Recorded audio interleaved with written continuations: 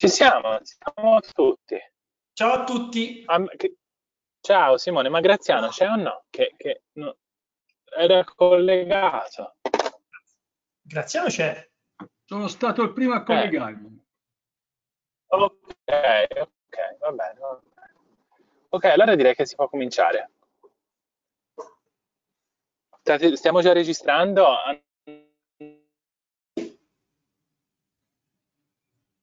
Sì, sì.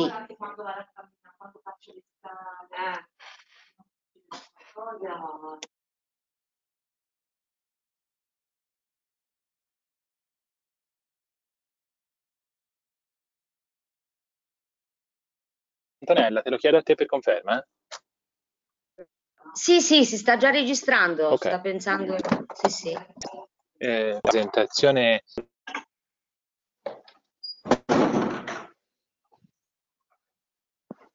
abbiamo, abbiamo davanti quindi un percorso che eh, ci, ci metterà di- davanti alle, tematiche che sono emerse dal confronto del piano con, eh, da parte dei cittadini e in ragione di questo, come già ho anticipato ai commissari, eh, la prima parte delle, delle sedute che affronteremo riguarderà diciamo, la preparazione, un lavoro preparatorio e di eh, approfondimento di quelle che sono le tematiche emerse, cioè l'ufficio nell'istruttoria e, e l'architetto Cinquini hanno eh, in sostanza categorizzato le mh, osservazioni che, che sono state presentate dalle- dai cittadini, ne hanno fatto un'istruttoria e hanno mh, individuato le tematiche ricorrenti in modo tale da poter facilitare sia il, e organizzare sia il lavoro di istruttoria sia anche quello di presentazione nelle, nelle commissioni. Eh, sapete che eh, il piano operativo ha suscitato un interesse significativo nella, nella- nella nostra opinione pubblica, Num- numerose sono state le osservazioni, più di 600. Di queste, in ragione anche della, della disciplina del piano, eh, si riconoscono eh, caratteri comuni e, e l'intervento, la proposta di modifica o appunto di osservazione su eh, alcune eh, macro categorie con cui eh, la struttura del piano è stata condotta. Cominciamo quindi con questi primi quattro appuntamenti già concordati con i commissari per le prossime date che hanno l'obiettivo di presentare queste quattro categorie di, di- di osservazioni che vengono presentate, quelle di modifica normativa, quelle che riguardano la classificazione eh, cartografica, quelle che riguardano la classificazione degli edifici, soprattutto per quel che riguarda il patrimonio rurale, e eh, le schede norma, le schede norma che riguardano le nuove, le nuove previsioni. Io a questo punto lascerei, per non perdere tempo, la parola all'assessore se vuole integrare in qualche modo e poi direttamente all'architetto Cinquini per eh, la presentazione del, del lavoro.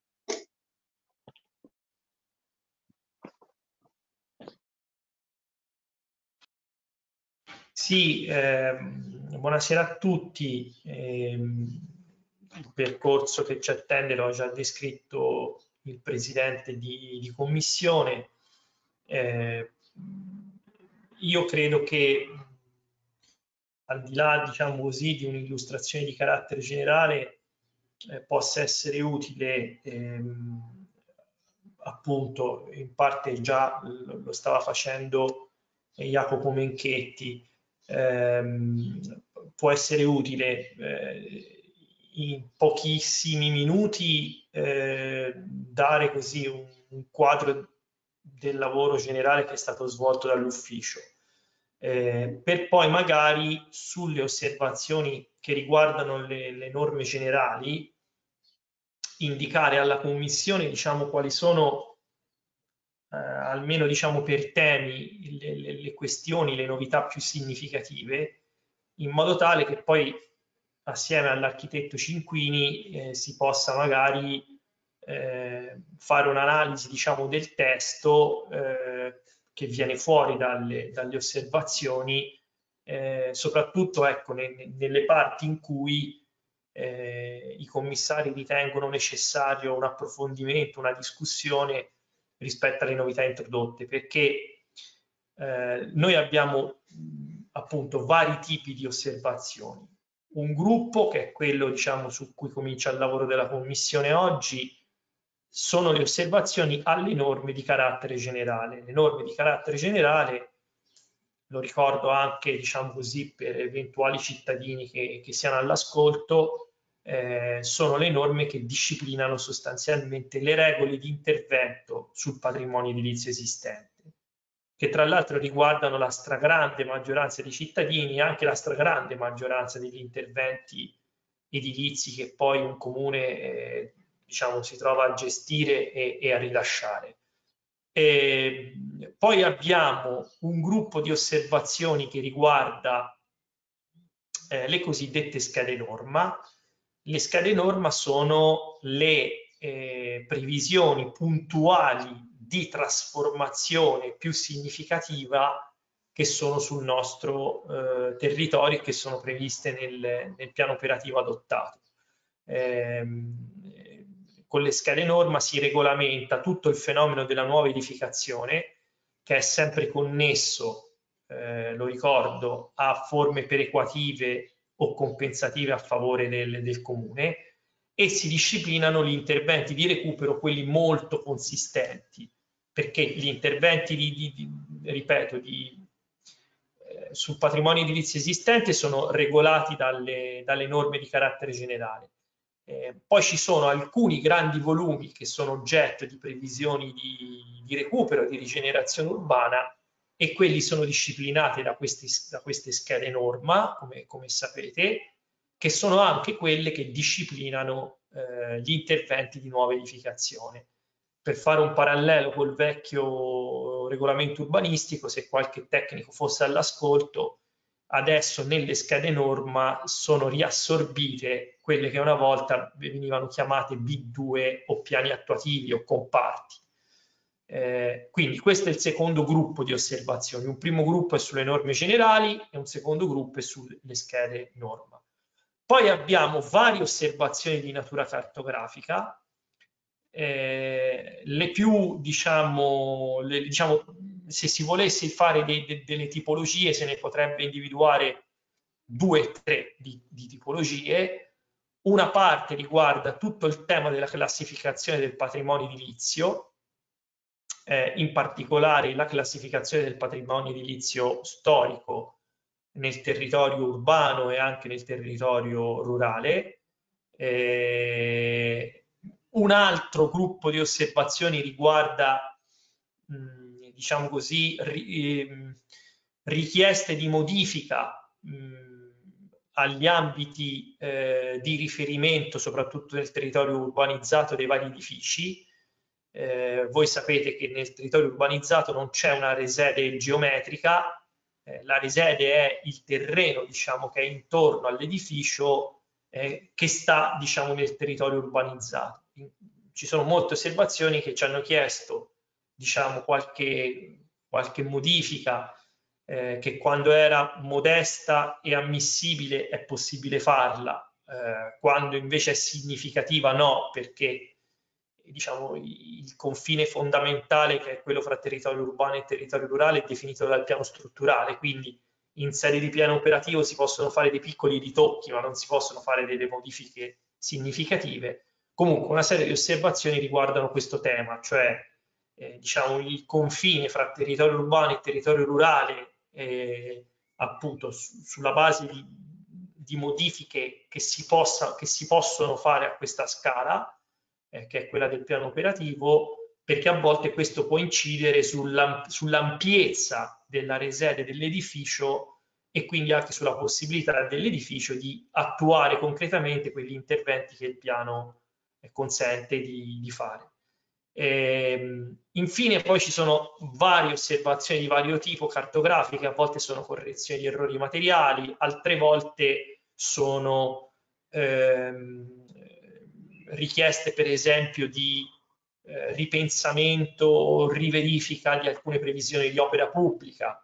Eh, no, noi abbiamo messo nel piano eh, varie previsioni anche ad esproprio di, insomma, di opere pubbliche, chiaramente alcune osservazioni sono a volte di quei cittadini che si sono visti, diciamo, in sede di adozione eh, una previsione espropriativa su una, loro, su una loro proprietà. Questo è un po' il quadro, quindi normative sulle norme di carattere generale, schede norma sulle previsioni di trasformazione tra cui la nuova edificazione più importanti e cartografiche con questa diciamo varietà. Eh, ora, mh, se siete d'accordo, eh, io e l'architetto Cinquini ci saremmo organizzati così, però insomma siamo a disposizione della commissione.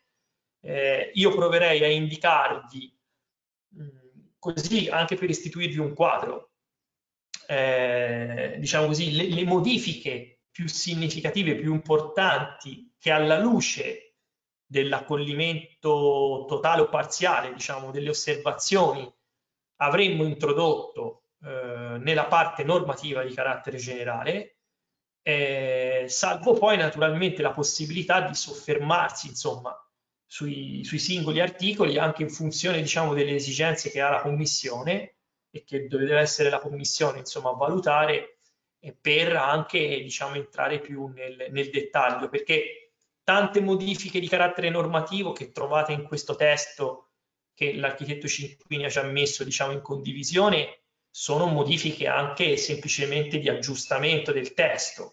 C'erano a volte dei riferimenti sbagliati, c'erano a volte del, de, delle carenze, eh, delle norme che si potevano scrivere meglio, quindi tanti sono aggiustamenti di carattere squisitamente tecnico. Poi ce n'è qualcuno invece che ha un significato, eh, chiamiamolo così, politico-amministrativo maggiore, che chiama anche in causa direttamente il ruolo no? di, di, chi, di chi amministra.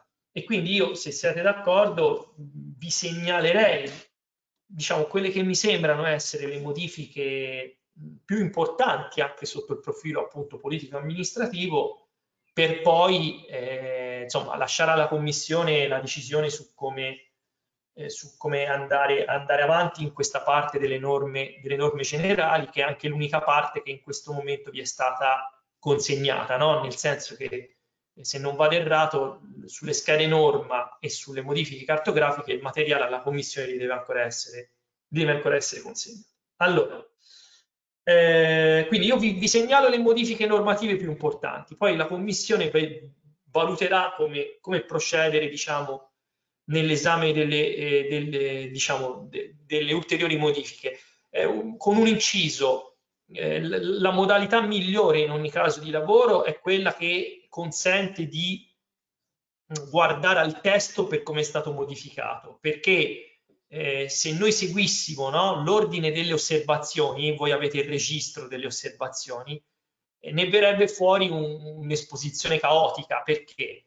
Perché l'ordine delle osservazioni non, ha, non, è, non è un ordine logico, è un ordine cronologico.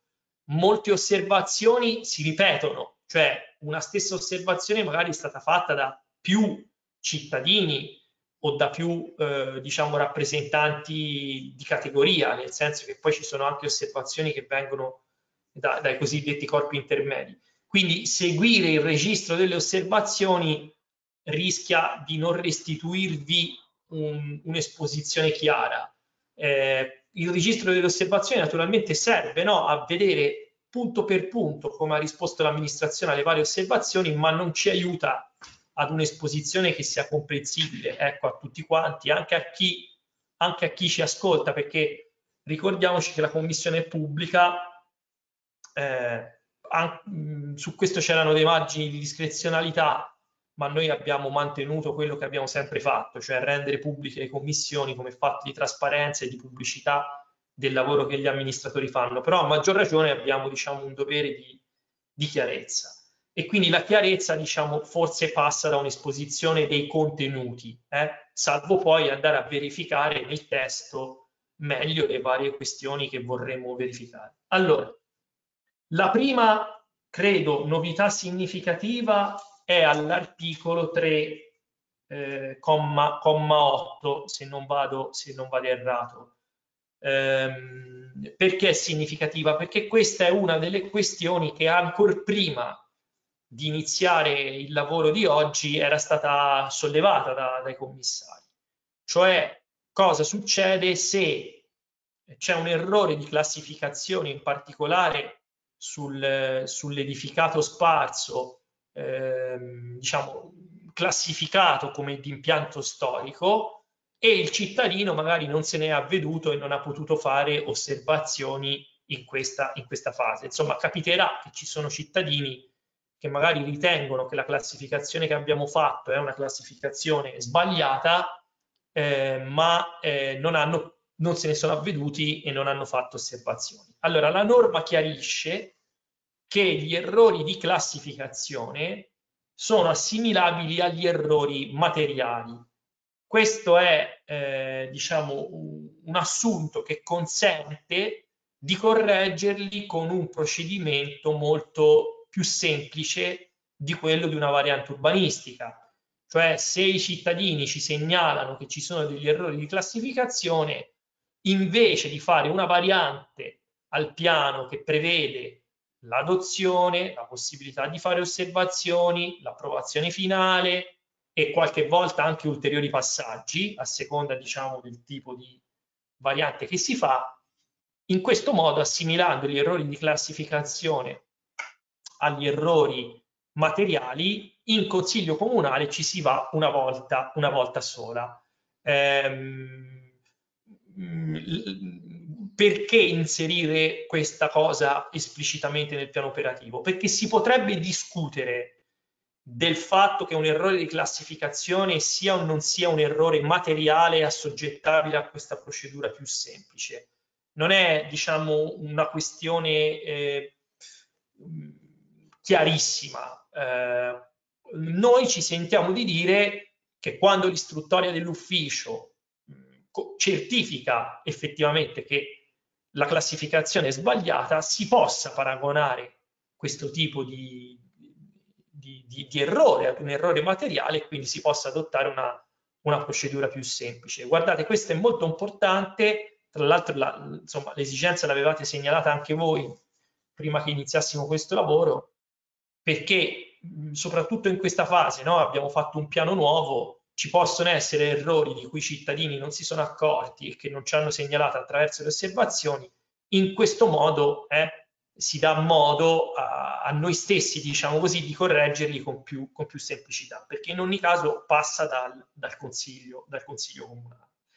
Ehm, poi l'altra novità, mh, un'altra novità importante è eh, all'articolo 5, eh, comma 3, mi sembra dopo la lettera B. Simone, sì?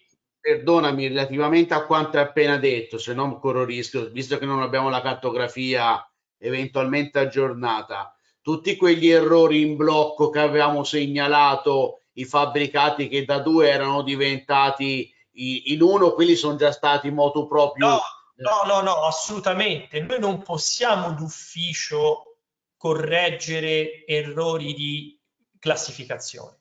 In questa fase la legge consente di esaminare le osservazioni, non abbiamo nessuna possibilità d'ufficio di metterci a correggere eventuali, eventuali errori di classificazione, anche perché un cittadino che non ce li segnala potrebbe anche non averceli segnalati perché è d'accordo con la classificazione che è stata data. Quindi... La cosa singolare, Simone, è che d'ufficio quelli che erano le nostre cartografie di una marea di fabbricati schierati in due, d'ufficio sono diventati uno. Ecco, no, dico, no, no, scusate, eh, scusate, non... vi prego di non fare, diciamo, di, cioè di non confondere i piani. L'ufficio ha fatto un lavoro che è quello che è stato adottato, no?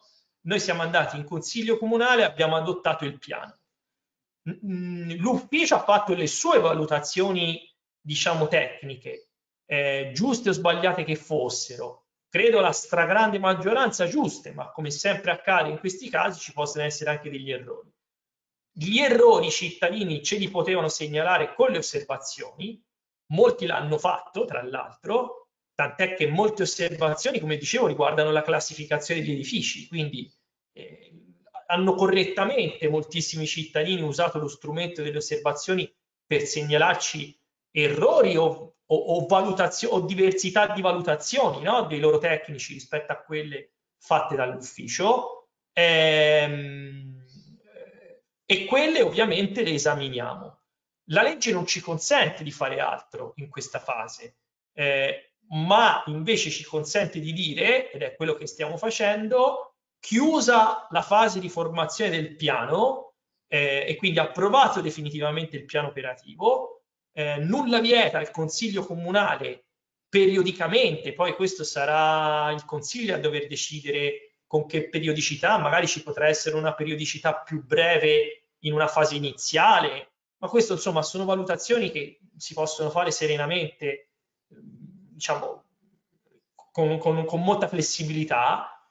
Eh, quello che consente la, la, la legge di dire eh, e, e, guardate un'interpretazione della legge che è favorevole diciamo alla semplificazione procedurale quello che la legge ci consente di dire è chiuso il piano no? se ci sono degli errori materiali l'amministrazione farà una cosa simile no? a quella che è stata fatta ora cioè magari dirà segnalateci eventuali errori entro una certa data e i cittadini potranno farlo e noi, previa un'istruttoria, diciamo così, dell'ufficio e un passaggio in questa commissione come stiamo facendo ora, eh, no, eh, favorevole, potranno essere corretti con un voto solo del Consiglio Comunale. Cioè la cosa che noi diciamo è non serve una variante urbanistica per correggere gli errori, basta, come prevede la legge regionale, che lo prevede per gli errori materiali, un passaggio in consiglio comunale. La cosa che ci sentiamo di dire noi è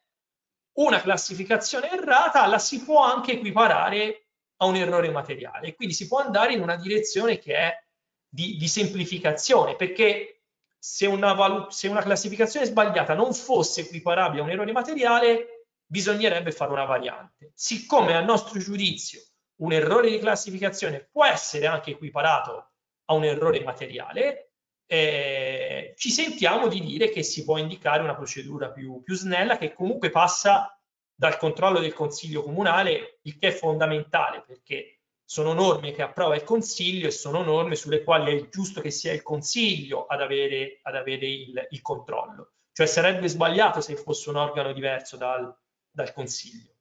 Quindi questo, Alberto, è il massimo che possiamo fare, non è una scelta, cioè l'alternativa a, a, a, essere contrari diciamo, alla procedura dell'errore materiale è dire che va fatta una variante, non, non, esiste una terza possibilità, la legge non ce la concede una terza, una terza possibilità, ma d'altra parte è sempre stato così, eh? non, è una, non è una novità insomma che gli errori si possono correggere soltanto o, con, o dentro il piano, con le osservazioni, oppure con delle varianti. La novità vera è che noi diciamo per cambiare classificazione eh, non serve fare la variante, insomma, se si vede che è un errore. Basta, basta un voto in consiglio comunale. Guardate, non, è, non era così in passato. Eh. Quanti cittadini si sono lamentati delle classificazioni fatte nel vecchio regolamento urbanistico e, e non hanno potuto poi ottenere un, una decisione rapida del, del consiglio comunale perché serviva, serviva una variante. Eh, c'è stata anche discussione eh, tra di noi sulla possibilità o meno di introdurre questa semplificazione. Tra di noi intendo nel rapporto fra l'assessore e chi ovviamente deve validare il piano sotto il profilo tecnico. Eh, è il massimo che possiamo fare, oltre che guardare molto attentamente ovviamente tutte le osservazioni che sono arrivate su questo, su questo fronte. Simone, posso fare una precisazione su questo?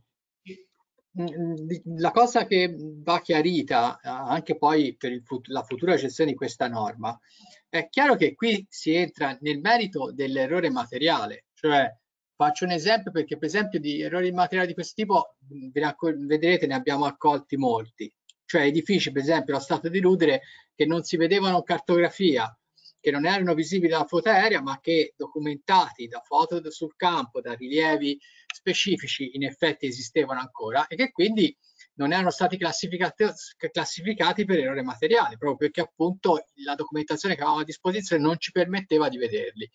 Quello è un errore materiale, no? Cioè è oggettivamente un dato che noi non conoscevo, un'assenza di conoscenza, ecco, usiamo questo termine, no? un'assenza di quadro conoscitivo e quindi come tale viene raccolta in automatico, no? perché appunto è un rudere che non si vedeva semplicemente perché era coperto dalla foresta o non era nella documentazione cartografica perché non, dire, il rilevatore che ha fatto l'ortofoto e la cartografia non l'ha visto, ma di fatto c'è.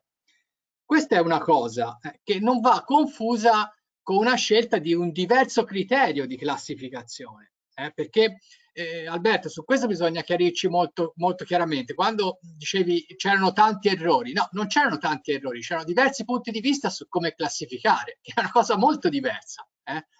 Molto diversa. E quindi eh, da questo punto di vista anche la norma in futuro deve essere utilizzata in questi termini, non è che si può stravolgere come dire, i criteri che sono alla base di come sono, vengono classificati gli edifici. E quindi come dire, l'istruttore che dovrà fare l'ufficio, eh, diciamo nel tempo, attraverso le segnalazioni, anche attraverso forme pubbliche di avviso, eccetera, è proprio di questo tipo, cioè la constatazione che sussiste un errore materiale di valutazione tale per cui o l'edificio addirittura non era classificato e quindi va classi opportunamente classificato, oppure la classificazione che gli era attribuita, gli era stata attribuita era sbagliata semplicemente perché, per esempio, che sono alt altri casi molto frequenti, non vi era la documentazione fotografica aggiornata o non si era o sufficientemente esaustiva per cogliere tutta la qualità eh, del singolo edificio, per cui magari non si vedeva che c'era già una parte completamente trasformata, eccetera. No? Anche qui vedete ci saranno tante osservazioni magari accolte per cambio di classificazione perché il soggetto interessato magari ha segnalato che stato, era stato fatto il permesso di costruire, nel frattempo l'edificio era stato trasformato significativamente, ha come dire, allegato una documentazione fotografica molto più ricca eh, e anche documentale di quella che magari era presente nel quadro conoscitivo al punto tale da eh, come dire, riscontrare l'errore. Ecco, il metodo deve essere un po' questo, cioè eh, il riscontro dell'errore passa attraverso un aggiornamento del quadro conoscitivo, cioè delle informazioni che ci consentono di dedurre che effettivamente c'era c'è stato un, una sottovalutazione o un errore di valutazione, ma sulla base di un quadro conoscitivo e non sulla base di un mutamento dei criteri che stanno alla base della classificazione. Ecco, questo è molto importante perché altrimenti in quel caso si, si va in una variante urbanistica, cioè si riguardano tutti gli edifici perché cambiamo il criterio di classificazione e cambiando il criterio di classificazione si riclassificano tutti secondo diversi criteri. In quel caso non è un errore materiale, è una variante legittima, eh, per carità, al piano operativo, ma perché cambiano le modalità, no, i criteri che stanno alla base della classificazione. Ok? Io vi ringrazio di questo ulteriore contributo, ma la mia domanda era, era, era, era tutt'altra, relativa a tutt'altro fatto. Dico, io lo so perfettamente come funziona relativamente alle osservazioni nel periodo così, ma se semplicemente ci veniva, ci fosse stato detto, guardate che tutta una serie di fabbricati che inizialmente erano due e io ve ne porto un elenco infinito di fabbricati che non sono dei passivi di nessun intervento, tali e quali erano pa- della passata eh, strumento urbanistico, tali e quali erano ora. Ora, che siano cambiati i criteri per valutare se era un interesse tipologico, un interesse ambientale, quando il fabbricato è l'esatta consistenza lo era e lo è, è, è questo che volevo capire io se sono cambiati questi criteri. Domanda uno o due, perché a, noi avevamo una cartografia dove questi fabbricati erano schedati in una certa maniera e non ci è stato detto guardate che in questi serie di interventi di correzioni perché mi direte ma sono correzioni di errori cartografici vi si era detto. Perché a noi non ci è stato detto? Perché io quando fino all'ultimo al mio cliente gli ho detto gli dicevo e, e, e io non sono uno avulso da questa realtà no perché nonostante abbia solamente 21 anni di esperienza insomma qualcosa ho masticato no? Al mio cliente dicono no è sempre come prima gli interventi sono sempre come prima un caso su tutti. Mi ritrovo che il fabbricato che non c'è stato fatto assolutamente nulla nell'esatta consistenza di com'era l'ampliamento non può più fare perché è stato classificato di, in, in classe prima. Ecco, ecco qual è il succo del discorso perché se semplicemente e questo ve ne faccio un'osservazione veniva detto in commissione guardate che sono state anche riviste giusto o sbagliato questo starà poi alle osservazioni che uno farà sono state riviste alcune categorie. Una aveva prontezza di dire ai propri assistiti o ai propri fabbricati di guardare se quello che aveva fabbricato. Io contesto questa mancanza di informazione che non c'è stata data e, e, e tu sulla scorta di quello che avevamo siamo andati avanti così. Era questo. Non discuto poi della, tra virgolette, pezza che è stata messa dicendo ragazzi, volete che eh, quando ne avremo un popoino eh, si ripasserà il consiglio comunale e si rimetteranno in discussione. Era questo il passaggio che io dicevo. Comunque andiamo avanti, non si perde tempo. Tanto ormai, come dice, passata la festa il gabbato lo sa. Però, no, questa è una cosa... Ma andiamo avanti, è una cosa importante questa qui, eh, perché ce ne sono molti di questi fabbricati. No, scusate, Ora, ormai... eh, però, però, io bisogna, scusate la, la, la ruvidezza con la quale intervengo io eh, che in un piano ci siano degli errori è normale, altrimenti la legge non avrebbe previsto lo strumento delle osservazioni. Le osservazioni ci sono apposta. E non è vero, Alberto, permettimi, che i professionisti non sapevano che eh, adottato il piano naturalmente devi andare a verificare cosa il piano prevede, tant'è che c'è tantissime osservazioni sulla classificazione perché i, i criteri di classificazione sono per certi versi simili a quelli del passato, ma per certi versi no. Si, basti pensare semplicemente al fatto che siamo passati da tre categorie, no? R1, R2, R3 a, a due categorie soltanto. Quindi sparendo per esempio una categoria, eh, il, risultato può anche essere no, che un edificio che era in una categoria e magari ora si trova, si trova in un'altra. Poi permettetemi, gli errori a volte sono anche, cioè gli errori sono errori e quindi a volte ci sono anche in direzioni, chiedo scusa, vorrei finire, a volte gli errori ci sono anche in direzioni opposte, eh? non è mica detto che l'errore sia, sia sempre nell'aver classificato un edificio uno invece che due. Qualche volta magari c'era qualche errore nel passato, cioè magari c'era qualche edificio che meritava di essere classificato uno che invece è stato classificato diversamente. Gli errori, ah, gli errori per loro natura, se non sarebbero errori, se no sarebbero scelte dolose, gli errori per loro natura ci sono e ci sono tutte, in tutte le direzioni. E ci sono tantissime osservazioni sulle classificazioni e noi le vedremo qui in commissione. Cioè, ci mancherebbe. È una delle cose che la commissione dovrà, dovrà valutare. Eh, permettetemi, è anche un lavoro molto tecnico. Io ve lo dico con molta sincerità. Io eh, credo che la politica, di fronte alle situazioni, diciamo, borderline, che l'ufficio stesso riconosce essere discutibili, debba esercitare un ruolo e magari Alberto può anche essere un ruolo che orienta no? eh, diciamo, la futura correzione degli errori, nel senso che su, se su certe situazioni borderline a un certo punto si prende una, una linea, è giusto che poi quella linea no, si manifesti con continuità. Ci sono situazioni nelle quali l'ufficio dice no signori, questo qui va classificato così, perché è una valutazione tecnica quello che viene fatta. E se permettete, credo che noi in quel caso si debba fare un passo indietro, perché non è, non è il ruolo della politica quello di decidere a prescindere diciamo, no, da, dalle categorie di riferimento come si classificano gli edifici. Quindi bisogna anche avere questa, questa, questa accortezza.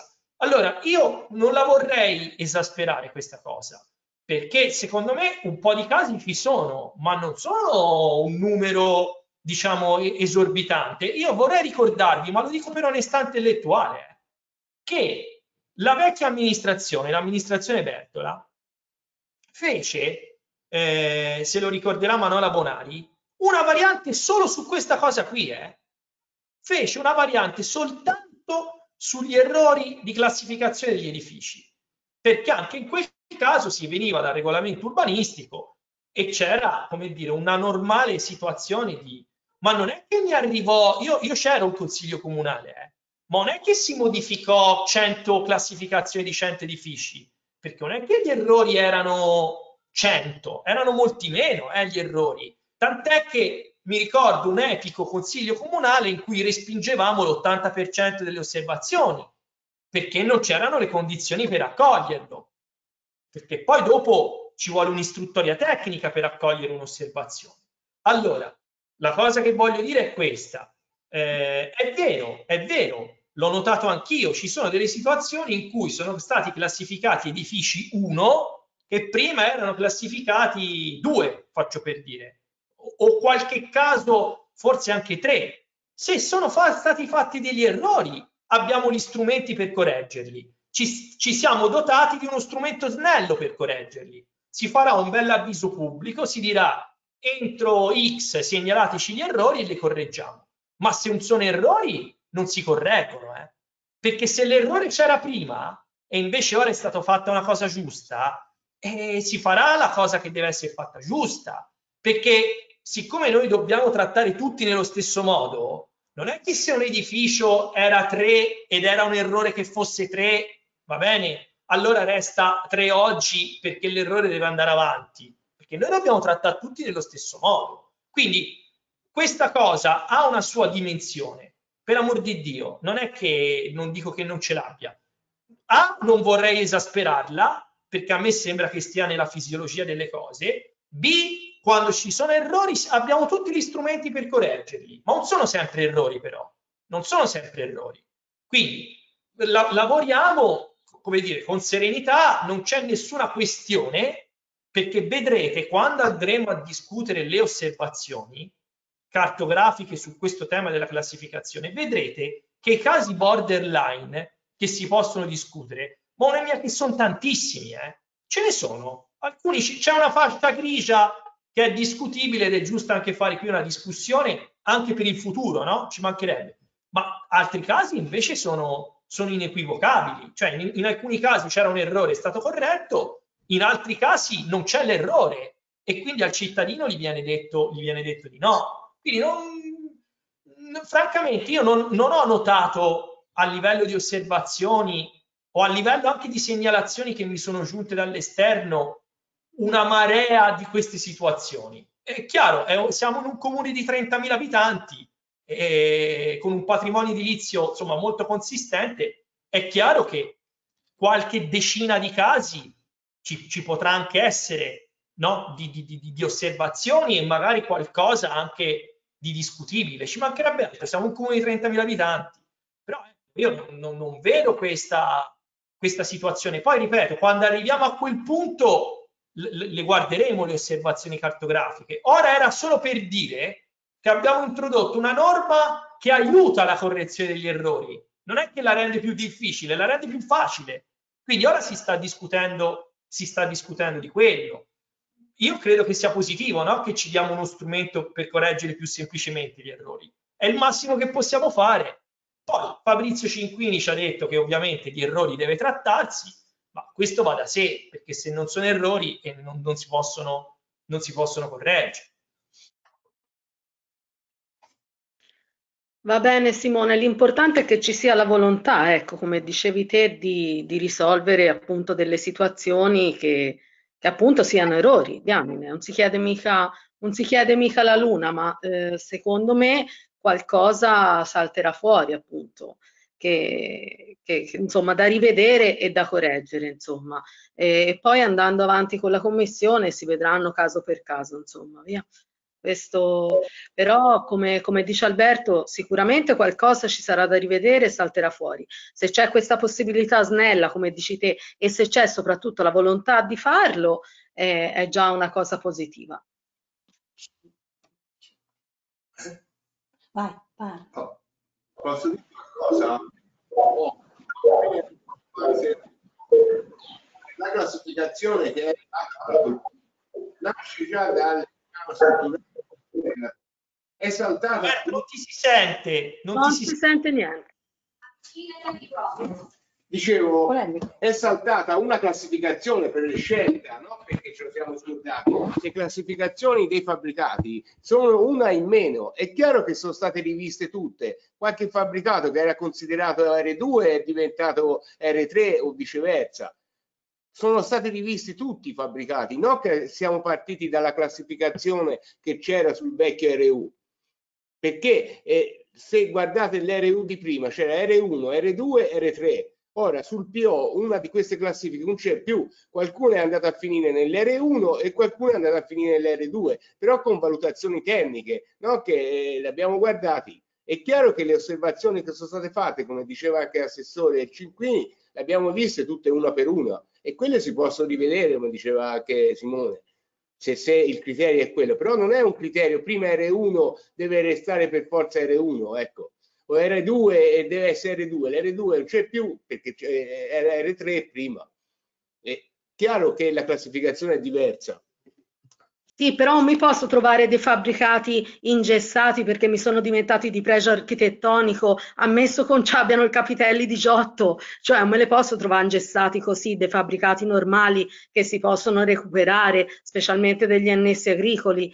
Che, che, che, si possono recuperare benissimo anche per prima casa. Capito la mia considerazione che ti volevo dire? Cioè, è capito? Quello che volevo dire da vedere, capito? Cioè, magari è... caso per caso lo vedremo, cioè, però me le puoi mettere come pregio architettonico da non toccarli più e da ingessarmeli lì, eh, che sono normalissimi fabbricati. Magari mi dici, li risistemi in questa maniera, mi mantieni una mandolata, mi mantieni, cioè, ma non mi puoi dire che è un pregio architettonico, ma che sia guarda, che tu mi hai saltato una classificazione, hai Bella, capito? I normalissimi fabbricati non sono stati classificati, né uno né due. Quello che te definisci normalissimi fabbricati non hanno valore e non, e non, è stato riconosciuto. Vorrei dire che ci sono dei manufatti agricoli che hanno un notevole valore sotto il profilo di testimonianza storica. Un edificio non deve avere i capitelli per avere un valore architettonico. Questo è importante. Scusate, scusate, prendo la parola un momento per, semplicemente per dire che nell'organizzazione delle attività delle attività della Commissione. Avremo un'occasione specifica per questo che ci consente di entrare nel merito. Io non la voglio superare in questi termini ora, eh, tralasciandolo, perché sono convinto anch'io che sia una, una, un tema estremamente importante, inevitabile anche, perché come dicevano dall'ufficio come diceva anche l'assessore, l'operazione che si è fatta attraverso il piano, cioè quella della semplificazione normativa anche in termini di categorie di classificazione, il gioco forza ha portato a, a, a fare una ulteriore valutazione diversa dalle precedenti, da capire se questi criteri intendiamo riconoscerli o meno in questa fase sulle osservazioni presentate dai cittadini. Chiaro che questa norma di cui stavamo parlando, che è l'articolo 4, ci dice che lo strumento con cui si può tornare sopra quella classificazione attraverso il riconoscimento di errori o di valutazioni che abbiamo capito e, e lo capiremo alla fine di questo percorso quali devono essere, quali possono essere, eh, lo diamo anche senza bisogno di fare una variante. E segnala a tutti tra l'altro che una delle ultime cose che abbiamo fatto prima di approvare il piano strutturale e di cominciare il percorso del, del piano operativo fu proprio una variante in questo senso, dove se vi ricordate bene c'erano una serie di osservazioni che vennero prodotte in fase fra l'adozione e l'approvazione della variante che avevano a contenuto la classificazione di fabbricati. Quindi non è un tema che si può esaurire così in, in, una, in prima seduta di commissione, ci torneremo sopra sicuramente e segnalo che effettivamente questo è un argomento che ha generato anche alla fine del, del percorso di adozione un dibattito che ovviamente dovremo sviluppare. Io direi a questo punto però di, di, introdurre le altre modifiche che ci sono state, perché questa, ripeto, sarà oggetto di uno specifico approfondimento. Sono andata fuori tema, hai ragione, andiamo avanti, poi si vedranno più avanti. No, non sei andata fuori tema perché la norma parla esattamente degli strumenti che si usano per correggere gli errori, quindi non sei andata fuori tema. Diciamo che poi nel merito bisognerà vedere appunto le, le osservazioni sugli edifici perché ci sono situazioni borderline ed è giusto che la Commissione prenda un orientamento. Allora, eh, la seconda modifica significativa mh, che, che, vi segnalo è questa appunto dell'articolo 5,3 ehm, nel, mm, che sostanzialmente dice questo ehm, è l'articolo eh, che in questa parte fa riferimento all'area sede, che è l'ambito di normale intervento. No? Se uno vuole intervenire su un edificio, lo fa nell'ambito dell'area sede dell'edificio. Qui si scrive che se ehm, ci sono opportunità di miglioramento delle condizioni igienico-sanitarie, di recupero paesaggistico e ambientale, di miglioramento delle condizioni di accessibilità e mobilità, eh, il Consiglio Comunale può concedere sostanzialmente nell'ambito di interventi che prevedano la demolizione e ricostruzione dell'edificio, quindi sostituzione edilizia e ristrutturazione urbanistica, il Consiglio Comunale può attraverso il, un piano unitario convenzionato concedere diciamo, la possibilità al cittadino di muoversi al di fuori dell'ambito della resede. Quindi la regola è che gli interventi si fanno dentro la resede, ma se c'è un interesse pubblico ad uno spostamento dell'edificio, laddove lo spostamento sia ammissibile dalle norme, perché magari la sostituzione edilizia e la ristrutturazione urbanistica sono, sono concesse, ehm, allora si può anche spostare, spostare l'edificio. Eh, quindi qui si è data diciamo, un'opportunità in più di intervento sull'esistente oltre i limiti della resede in presenza di un forte interesse pubblico ambientale, funzionale, legato per esempio al, al fatto che magari un edificio che è in una situazione di pericolosità idraulica o geomorfologica lo sposti eh, di fronte a un interesse pubblico così importante sotto il controllo del Consiglio Comunale si può anche andare oltre diciamo, la risede di riferimento dell'edificio. Penso che questa sia una norma insomma, molto positiva dal punto di vista delle possibilità di recupero sull'esistente.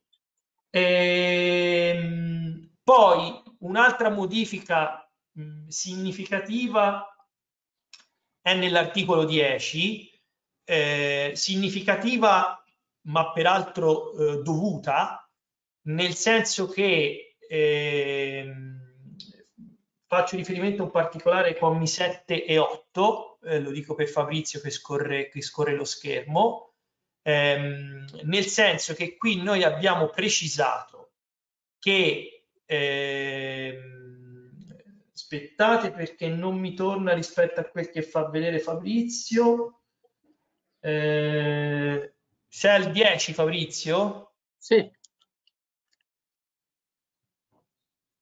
Va bene, comma 7 e 8. Sì, è questo, sì, sì, va bene, scusa. Allora, sostanzialmente qui noi abbiamo precisato che tutto il mondo degli interventi, chiamiamoli di carattere pertinenziale, anche se poi il termine non è adeguatissimo, ma per capirsi, tutto il mondo degli interventi di carattere pertinenziale, che oggi sono disciplinati da regolamento edilizio e che sono ulteriori alle facoltà edificatorie ammesse da regolamento urbanistico, continueranno a essere tali. Quindi ci sarà tutta una serie di fattispecie, le cantine, i vani seminterrati, la piscina, eh, l'impianto sportivo diciamo a servizio de della casa, diciamo, Garage. tutto questo eh? Garage.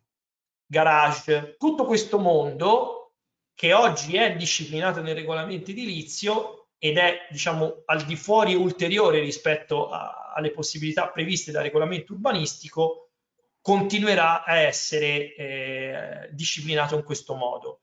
Eh, questo ha riallineato diciamo, la, la, la norma adottata con eh, con, la, ehm, con l'attuale regolamento urbanistico. Crea un'assoluta simmetria che tra l'altro rende anche più semplice insomma, la gestione delle, delle pratiche edilizie ed è anche corretta insomma, rispetto all'impostazione che si è data del piano.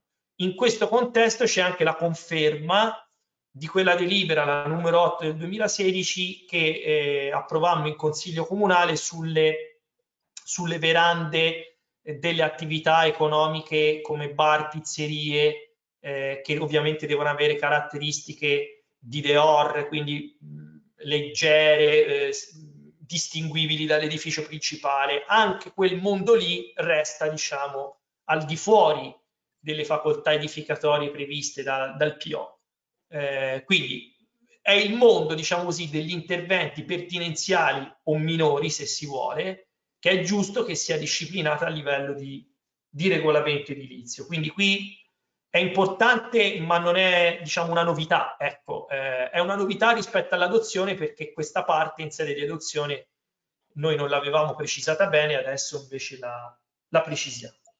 Poi un'altra novità significativa è all'articolo 15. Simone, oh, oh, aspetta, su questo forse l'altra novità che è importante tecnicamente è che abbiamo chiarito perché forse non era molto chiaro che tutto quello che sono le innovazioni necessarie all'adeguamento antisismico Vero. e tutto il tema delle cantine eccetera è, un intervento sempre ammesso dal piano operativo indipendentemente diciamo dalla classificazione di zona no? cioè quindi è ritenuto come dire un, un intervento sempre ammissibile questa è la, quale, e in questo abbiamo anche chiarito che negli interventi di strutturazione edilizia conservativa è ammesso, come dice la legge, ovviamente tutto quello che è il recupero dei sottotetti secondo quello che era previsto dall'ex legge 3, no? in modo tale anche qui da riallineare i nostri, le nostre categorie di intervento con quelle più inno, ancora più innovate della legge regionale. Eh?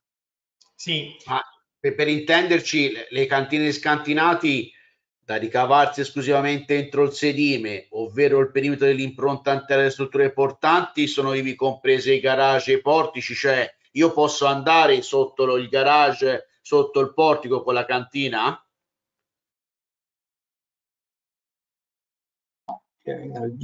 Sotto il portico eh, dipende dall'edificio in quanto tale. Qui si parla del sedime dell'edificio. Eh? Quindi se il portico non ha consistenza volumetrica, direi di no se portica la consistenza volumetrica direi di sì. Qui va visto caso per caso sulla base del 39R, di che cosa definisce il 39R come edificio. Okay? Eh, Fabrizio, questa cosa consente di dire una cosa molto importante, Alberto. Ora è molto tecnica, anzi poi Fabrizio, come già sta facendo, integra opportunamente. Eh, noi eh, una volta ci muovevamo con una certa libertà no? dal punto di vista delle, dei, dei concetti che usavamo. Ora non più, ora bisogna diciamo stare dietro alle definizioni del 39R della norma regionale. Per cui la risposta alla tua domanda sta nel verificare che cos'è che fa sagoma e quindi anche sedime o sedime eh, eh nel 39R, ok? Eh, allora perché... leghiamo, abbiamo ovvero il perimetro dell'impronta ante le strutture portanti. Se ci dobbiamo rifare al 39, leviamo quello che è dentro le, le parentesi.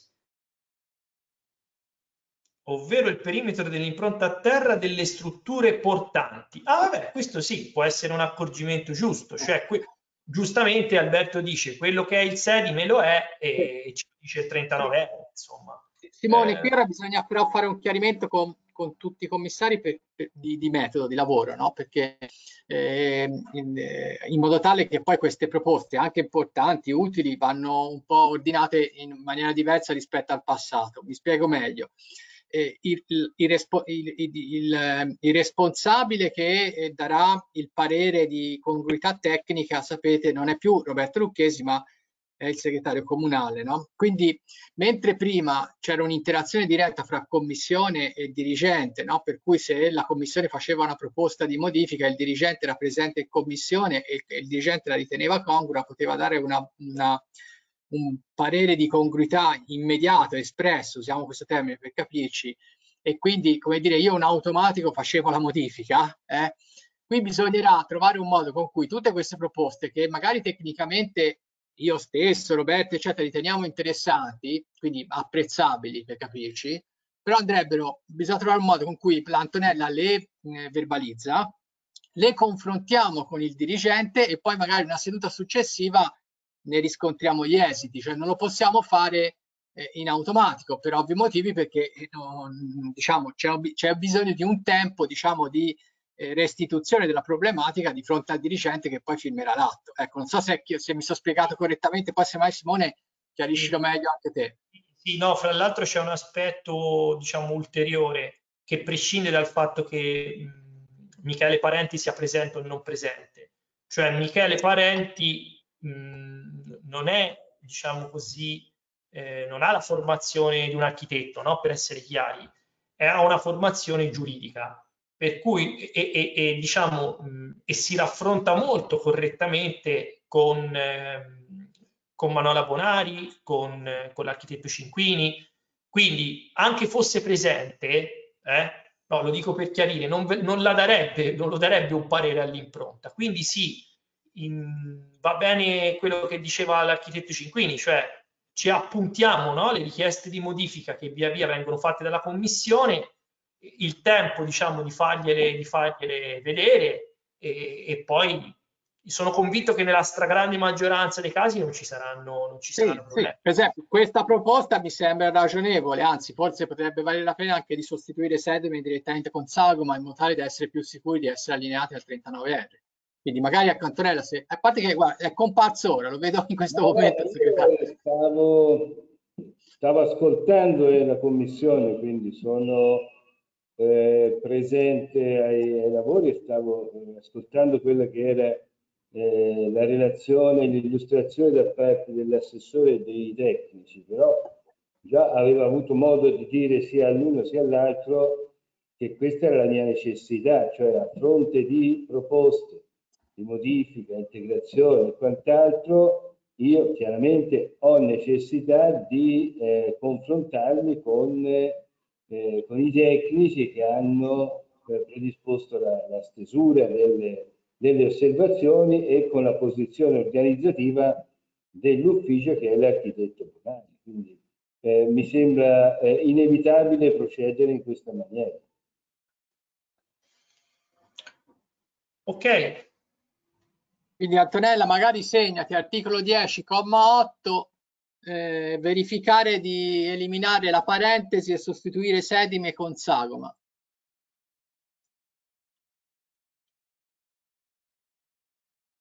Avanti. Okay. un'altra modifica eh, sempre significativa dal punto di vista dei contenuti è nell'articolo 15. Eh, tra l'altro questa è stata una insomma, richiesta che è venuta, mi pare, dall'ordine professionale degli architetti ed è una cosa alla quale noi non avevamo pensato ed è un tema, diciamo, che delicato, ma affrontato in modo diciamo attento può essere un'opportunità.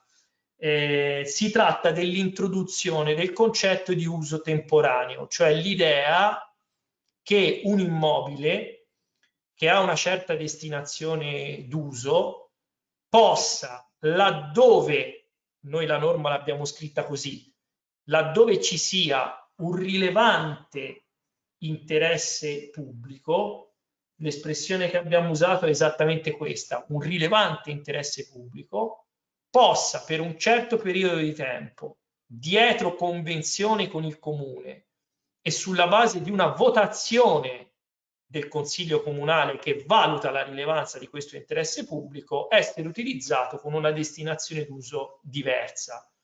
Vi faccio un esempio facile, facile nel senso che non sarebbe problematico. Noi abbiamo per esempio delle situazioni nelle quali per scelta eh, abbiamo diciamo, fatto delle norme più restrittive dal punto di vista del cambio di destinazione d'uso. No? Mi viene in mente il tema forse dove questo aspetto si vede di più, che è il, sono i, centri commerciali naturali. No? Noi abbiamo detto nei centri commerciali naturali bisogna difendere la, la, la, la destinazione d'uso al dettaglio, no? del commercio al dettaglio, perché non vanno dispersi come patrimonio collettivo, ma anzi, casomai, aiutati, aiutati a crescere. Eh, chiaramente noi siamo in una fase storica nella quale, per esempio, ci possono essere delle situazioni particolari. Ecco, voi pensate, non lo so, a un fondo sfitto in via di mezzo dove a un certo punto arriva, eh, che ne so, una società che gestisce un servizio pubblico locale, Gaia piuttosto che Erso, piuttosto che e dice no, vorrei mettere in quel fondo sfitto, che ne so, uno sportello per i cittadini. Ecco, a rigore, a rigore non si potrebbe fare, nel senso che se, se, se una, una destinazione d'uso è commerciale non può per esempio ospitare delle funzioni pubbliche che stanno nel, nel, nel direzionale, nel direzionale nel, e, e, e di servizio. Ecco, con questa norma, per esempio, questa cosa, questa cosa è possibile. Ho fatto un esempio, diciamo, di un, di un uso temporaneo che probabilmente non creerebbe problemi a nessuno. Ci possono essere naturalmente situazioni dove la scelta è un pochino più discutibile. Eh, però ci siamo ecco, sentiti di... Questa è proprio una scelta politica, guardate, quindi mh, va discussa come tale, ci siamo proprio sentiti di, di introdurre sotto il controllo del Consiglio Comunale un elemento di flessibilità perché magari ci possono essere per dei periodi di tempo degli usi di un determinato bene che possono essere valutati, valutati positivamente in termini appunto di interessi, di interessi generali. E quindi vedete la norma è molto specifica, rilevante interesse pubblico, eh, convenzione del Consiglio, eh, votazione del Consiglio. Eh, posso dire una cosa? Sì. Ma qui ad esempio potrebbe essere, esserci anche un cambio mh, in funzione delle esigenze abitative eh, di fondi che possono essere affittati eh, a chi ne ha bisogno? Eh, a mio giudizio, nell'ambito dell'edilizia privata in quanto tale, Riccardo, no. Eh, dal punto di vista invece di un uso eh, che fosse, diciamo così, eh, con, un ruolo con, un ruolo forte no? del, del, sociale, del, del, settore sociale del comune, perché no? Però mh, con un uso, perché il mondo, il mondo del, diciamo così, dell'edilizia pubblica eh, o dell'edilizia convenzionata che sottostà a certe regole è un mondo dove i, i, i, gli interessi pubblici sono rilevanti e quindi il Consiglio Comunale può anche valutare l'esistenza di un rilevante interesse pubblico. Eh, ma questo però non vale secondo me nel mondo dell'edilizia privata, pure semplice, nel senso che lì eh, l'uso residenziale nell'edilizia privata è un uso che normalmente no, risponde a un, a un bisogno sicuramente, ma non necessariamente a un bisogno sociale tale da essere di rilevante interesse pubblico. Quindi eh, con un forte ruolo del sociale potrebbe anche essere che uno dica per un periodo certi, certi, certi fondi li uso no, per, per, affrontare per esempio l'emergenza abitativa. Però l'emergenza abitativa ovviamente no, presuppone una serie di verifiche, no, ci sono graduatorie, ci sono fasce di reddito, ci sono insomma tutto il sistema delle regole eh, che conosciamo. Eh, Posso fare un esempio magari che collima in questi termini, no? Mettete tutta quella che è l'edilizia residenziale pubblica che magari andrebbe completamente rinnovata e magari ora con Recovery Fund arriveranno finanziamenti anche ingenti no? per l'efficientamento energetico, addirittura per la sostituzione, no? quindi le case popolari che possono essere abbattute ricostruite rendendole più efficienti. E quindi lì magari in questo momento ci sono assegnatari che sarebbero privi nel momento in cui viene abbattuto l'edificio, nel tempo che si ricostruisce, privo di alloggio. No? Allora, è chiaro che questo è un intervento completamente pubblico che va a rinnovare l'offerta e la qualità del tessuto edilizio.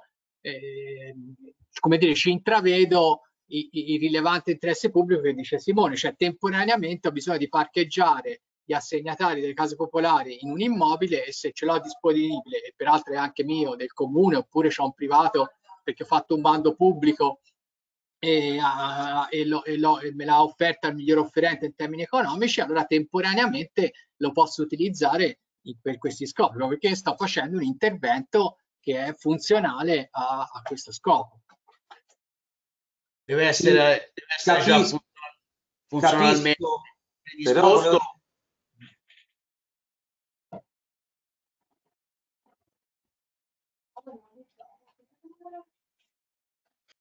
Intervenite pure, eh? ora, ora c'erano sovrapposti Riccardo e Alberto, dite pure.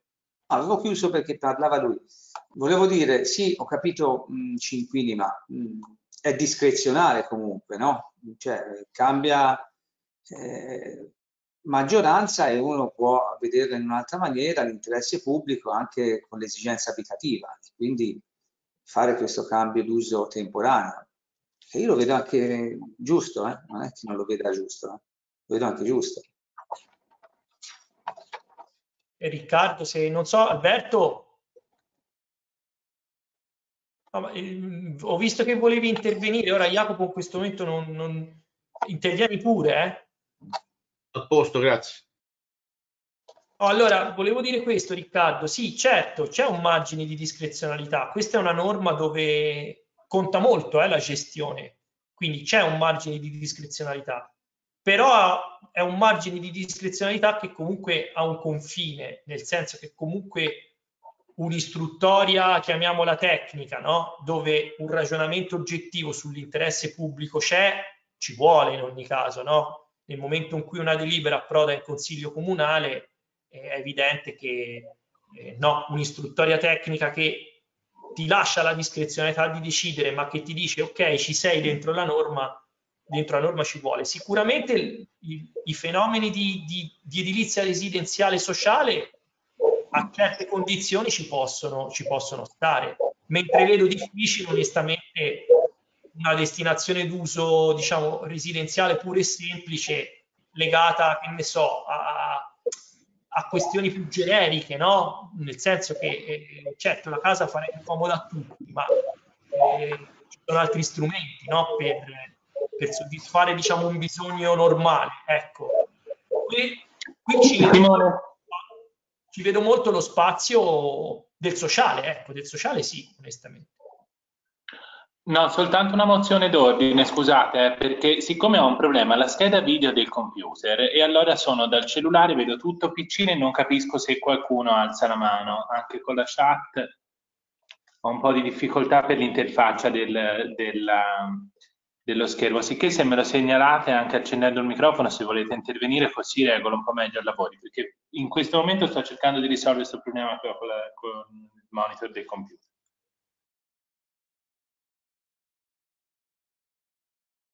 Prego, continuiamo pure. Se non c'è allora, nessuna. L'altra ehm, diciamo, modifica significativa è all'articolo 16. Ora qui va fatto un ragionamento più generale, che è questo. Mm, anche molto tecnico, però è importante che mm, diciamo, nel, la sostanza sia, sia ben compresa. Eh, allora, il regolamento regionale di cui parlavamo anche prima ci consegna delle definizioni di superficie che non sono tutte uguali ci sono varie definizioni di superficie che corrispondono a, a cose in parte diverse. Eh, noi, eh, diciamo, in sede di adozione questo aspetto lo avevamo valutato, ma non adeguatamente, c'è poco da, da, fare.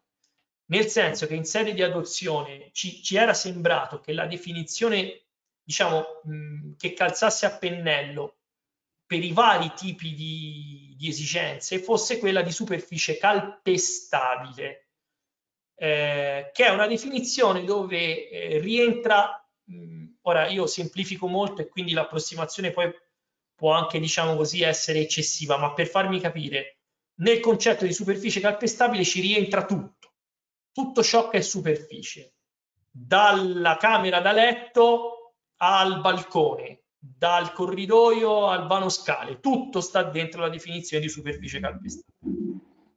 In realtà, alla luce delle osservazioni, approfondendo, ci siamo accorti che quella definizione, quella di superficie calpestabile, non è la più adeguata.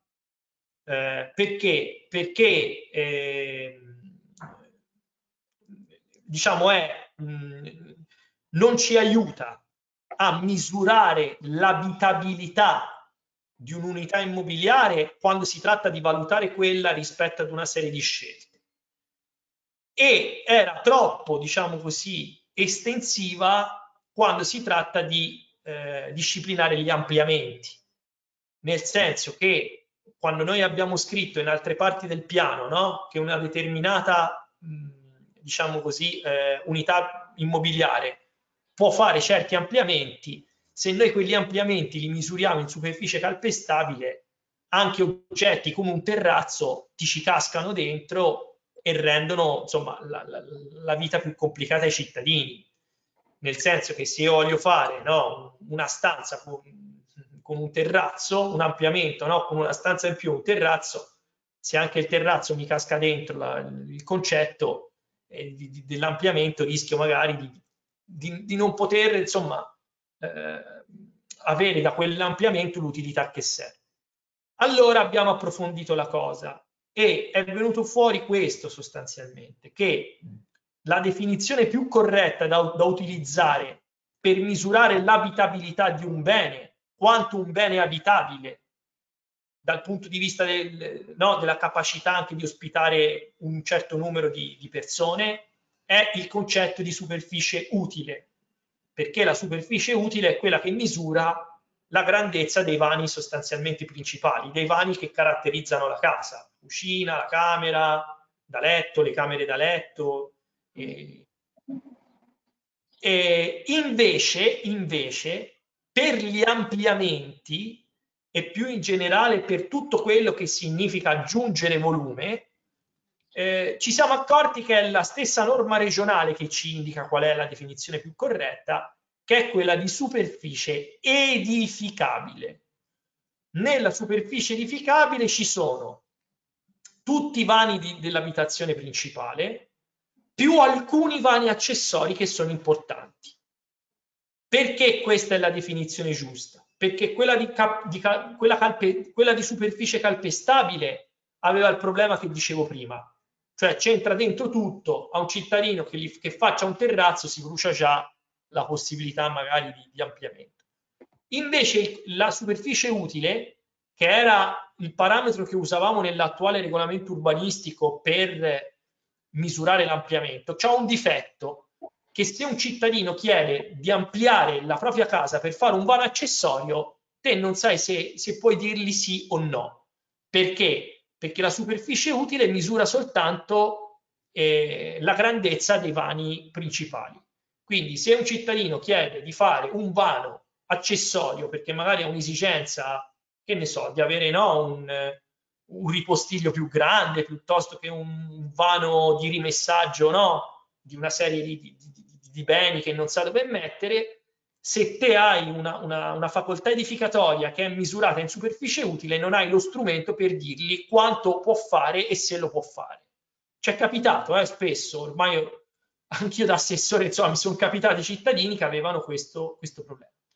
Allora, voi vedrete che nell'articolo 16, che è quello sul, sul, sulle dimensioni minime delle unità abitative, noi abbiamo usato la definizione di superficie utile, che quindi dà più possibilità a, diciamo così, di misurare no, l'abitabilità di un bene eh, rispetto a, eh, al fatto che no, ci vuole una dimensione minima per avere un certo, un certo uso, in particolare quello diciamo disciplinato qui è quello, è quello residenziale. Mentre vedrete in altre parti del, del, del piano che abbiamo utilizzato la definizione di superficie edificabile per eh, diciamo, disciplinare gli ampliamenti. Dopodiché cosa abbiamo fatto? Siccome nella superficie edificabile, a differenza della superficie utile, ci va anche lo spessore delle murature, noi per riparametrare, diciamo, gli ampliamenti in superficie edificabile con quelli che oggi sono misurati in superficie utile, li abbiamo aumentati tutti un po', considerando la, le, diciamo, le, la, la dimensione che normalmente hanno le, le murature. Eh, quindi, ora poi via via magari scorrendo le norme lo, lo possiamo vedere, ma il concetto è eh, dovevamo individuare meglio, ce l'hanno segnalato con le osservazioni giustamente gli operatori, qual è il concetto di superficie che vogliamo usare, quello più corretto sul, su, su, su, sulla definizione dell'unità minima abitativa è quello di superficie utile, perché la superficie utile ti dà la misura di quanto un bene è abitabile, mentre dal punto di vista delle facoltà edificatorie la definizione più corretta è quella di superficie edificabile, perché ci sono dentro tutti i vani principali di una casa, più i vani accessori più importanti, e quindi esaurisce in sé tutte le possibilità e tutte le necessità che un cittadino può avere. Non so se mi sono spiegato bene, perché è una materia molto complicata, però eh, è molto importante che eh, diciamo, questa cosa sia compresa, eh, perché è una scelta insomma, che ha una sua rilevanza. Non so se Fabrizio te vuoi integrare qualcosa eh, o dirlo anche semplicemente meglio di me, eh, perché questo è un aspetto molto... No, no, molto... va chiarito solo questo aspetto, perché un aspetto importante, no? Superficie utile e superficie edificata e, o edificabile. Eh? Quando si tratta di, scri di scrivere norme che riguardano la realizzazione degli interventi e quindi le addizioni volumetriche, la nuova edificazione, eccetera, viene utilizzata la superficie edificata a differenza della superficie calpestabile. Questo perché ce lo dice peraltro il regolamento 39R, quindi avremmo anche diciamo, un obbligo poi di verifica nei confronti diciamo, del monitoraggio che fa la regione sui piani.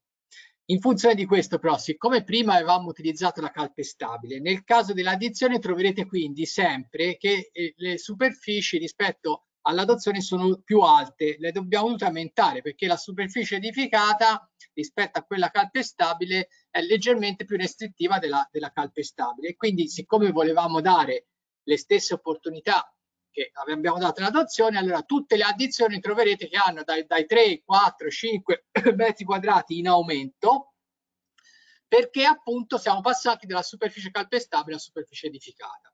Quando invece si tratta della dimensione dell'unità immobiliare, cioè la dimensione che si attribuisce agli alloggi residenziali in caso di frazionamento, di mutamento e stazione d'uso, utilizzando la superficie utile, allora vedrete che è leggermente diminuita rispetto alla precedente, proprio per il motivo opposto, perché la superficie utile è un contenitore più ristretto rispetto appunto alla superficie calpestabile. In questa maniera abbiamo sostanzialmente ottemperato a due temi.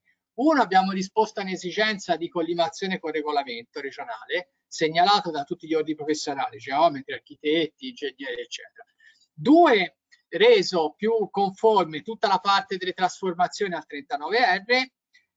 Tre, abbiamo però comunque garantito che rimodulando le dimensioni, vedete, da 45 a 40 oppure da eccetera, le quantità che effettivamente potevano essere concesse in fase di adozione rimangono sostanzialmente anche in fase di, di approvazione.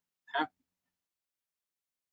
Sì, per essere ancora più chiari, eh, facendo un esempio, noi abbiamo fatto in modo che i 40 metri quadrati di superficie utile eh, siano ancora tali. Hm? Esatto. Si misura, si misura eh, l'ampliamento in superficie edificabile ma con lo spessore delle murature si torna ai 40 metri quadrati di superficie utile, quelli che sono per esempio già ora nel regolamento urbanistico nel territorio, eh, nel, no, nel, nelle aree diciamo del territorio urbanizzato e dell'edificato recente, oppure i 30 metri quadrati che noi diamo nei, negli edifici classificati 2, abbiamo fatto in modo che, che siano un po' di più di 30, in modo che si possa fare 30 metri quadrati di superficie utile. Cioè abbiamo messo in condizione sostanzialmente, guardo Alberto in particolare, i professionisti, anche ah, per utile le... o edificabile, scusa, 30 che hai detto Eh? a 35. Utile o edificabile? I 30 No, 35. allora facciamo, facciamo un esempio, Fabrizio, me la- me la- me- mi ci vai a, una- a un ampliamento di quelli con 45, quanto abbiamo messo? Vi faccio vedere così almeno ci capiamo meglio. Ho, ho. Questo per esempio è l'articolo 22 sulle, sulle aree, siamo già nel territorio urbanizzato, nell'edificato recente e siamo nel, nel, mh, nella prima categoria del, del B, per capirsi. Vedete che c'è scritto che si può fare un ampliamento in superficie edificabile di 45 metri quadrati, va bene? Se un professionista fa un ampliamento di 45 metri quadrati di superficie edificabile e vuole fare una stanza in più, Riccardo, questo ampliamento corrisponde grosso modo a 40 metri quadrati di superficie utile, cioè di superficie effettiva al netto delle, delle murature, che era diciamo il risultato che fin dall'inizio volevamo, volevamo ottenere. Questo è il lavoro che è stato fatto, ok? Abbiamo cambiato definizione perché era doveroso farlo, però abbiamo cercato di ritoccare le quantità in modo che il cambiamento di definizione non creasse no, differenze sostanziali rispetto alla scelta politica che avevamo fatto sin dall'inizio, che era per esempio nel caso di specie confermare i 40 metri quadrati nel territorio urbanizzato. Questo è un esempio, ok? Quindi, anzi, questo è un aspetto che po- po- potrete pos- verificare, no? Cioè l'obiettivo è avere il parametro corretto, ma non togliere niente, diciamo, in termini di opportunità a quello che si voleva dare sin dall'inizio, spesso anche in linea con il regolamento urbanistico attuale. Quindi qui il senso è i 45 metri quadrati di superficie edificabile sono i vecchi 40 metri quadrati di superficie utile, in modo tale che i professionisti hanno una continuità da questo punto di vista, anche per esempio nelle pratiche di sanatoria, eh, perché poi la, la, cosa diventava particolarmente problematica nelle pratiche di sanatoria. Eh, e questo ovviamente vale, diciamo, lo vedrete via via nel, in, tutto, in, tutto, il piano. Non so ora se è più, se è più chiaro. Eh, Riccardo? Forse mh, mm, ora non so se mi è sfuggito che abbiamo ridotto anche il taglio degli alloggi, l'avevi detto? Sì, sì, lo, ha detto, lo, ha detto, Fabrizio, cioè okay. siccome la superficie utile misura soltanto i vani abitabili, che cosa succedeva qui? Succedeva che se uno manteneva i numeri di prima, eh, passando alla, alla, superficie utile, la norma diventava più, più restrittiva allora noi abbiamo cercato di riallineare anche da questo punto di vista la norma in modo tale che diciamo, l'effetto sia quello che si voleva sin dall'inizio. Tra l'altro con molta continuità rispetto anche all'attuale assetto di regole. Eh. Vi faccio un esempio, poi correggetemi eh, se sbaglio Manola. Gli attuali, gli attuali mh, mm, noi abbiamo scritto per esempio che nel territorio ehm, recente il taglio minimo dell'alloggio è 50 metri quadrati di superficie utile. È già ora così se non vado errato. Cioè, già, or, già nel, nella variante che avevamo fatto a regolamento edilizio, mi pare lì, eh, l'avevamo già portata a quella, a quella dimensione.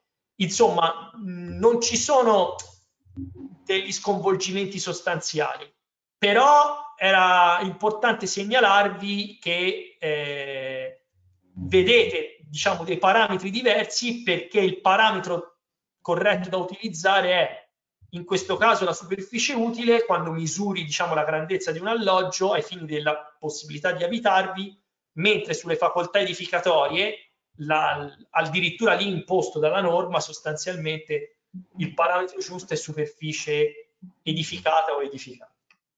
Ah, scusa, quando si parla però di in caso di ristrutturazione urbanistica o incremento volumetrico, lì abbiamo alzato allora la misura minima perché l'abbiamo portato a 60 metri di superficie utile che è maggiore di 60 metri di superficie calpestabile. Quindi, Riccardo, sì? eh, ma, ma, ma, lì però l'errore c'era prima.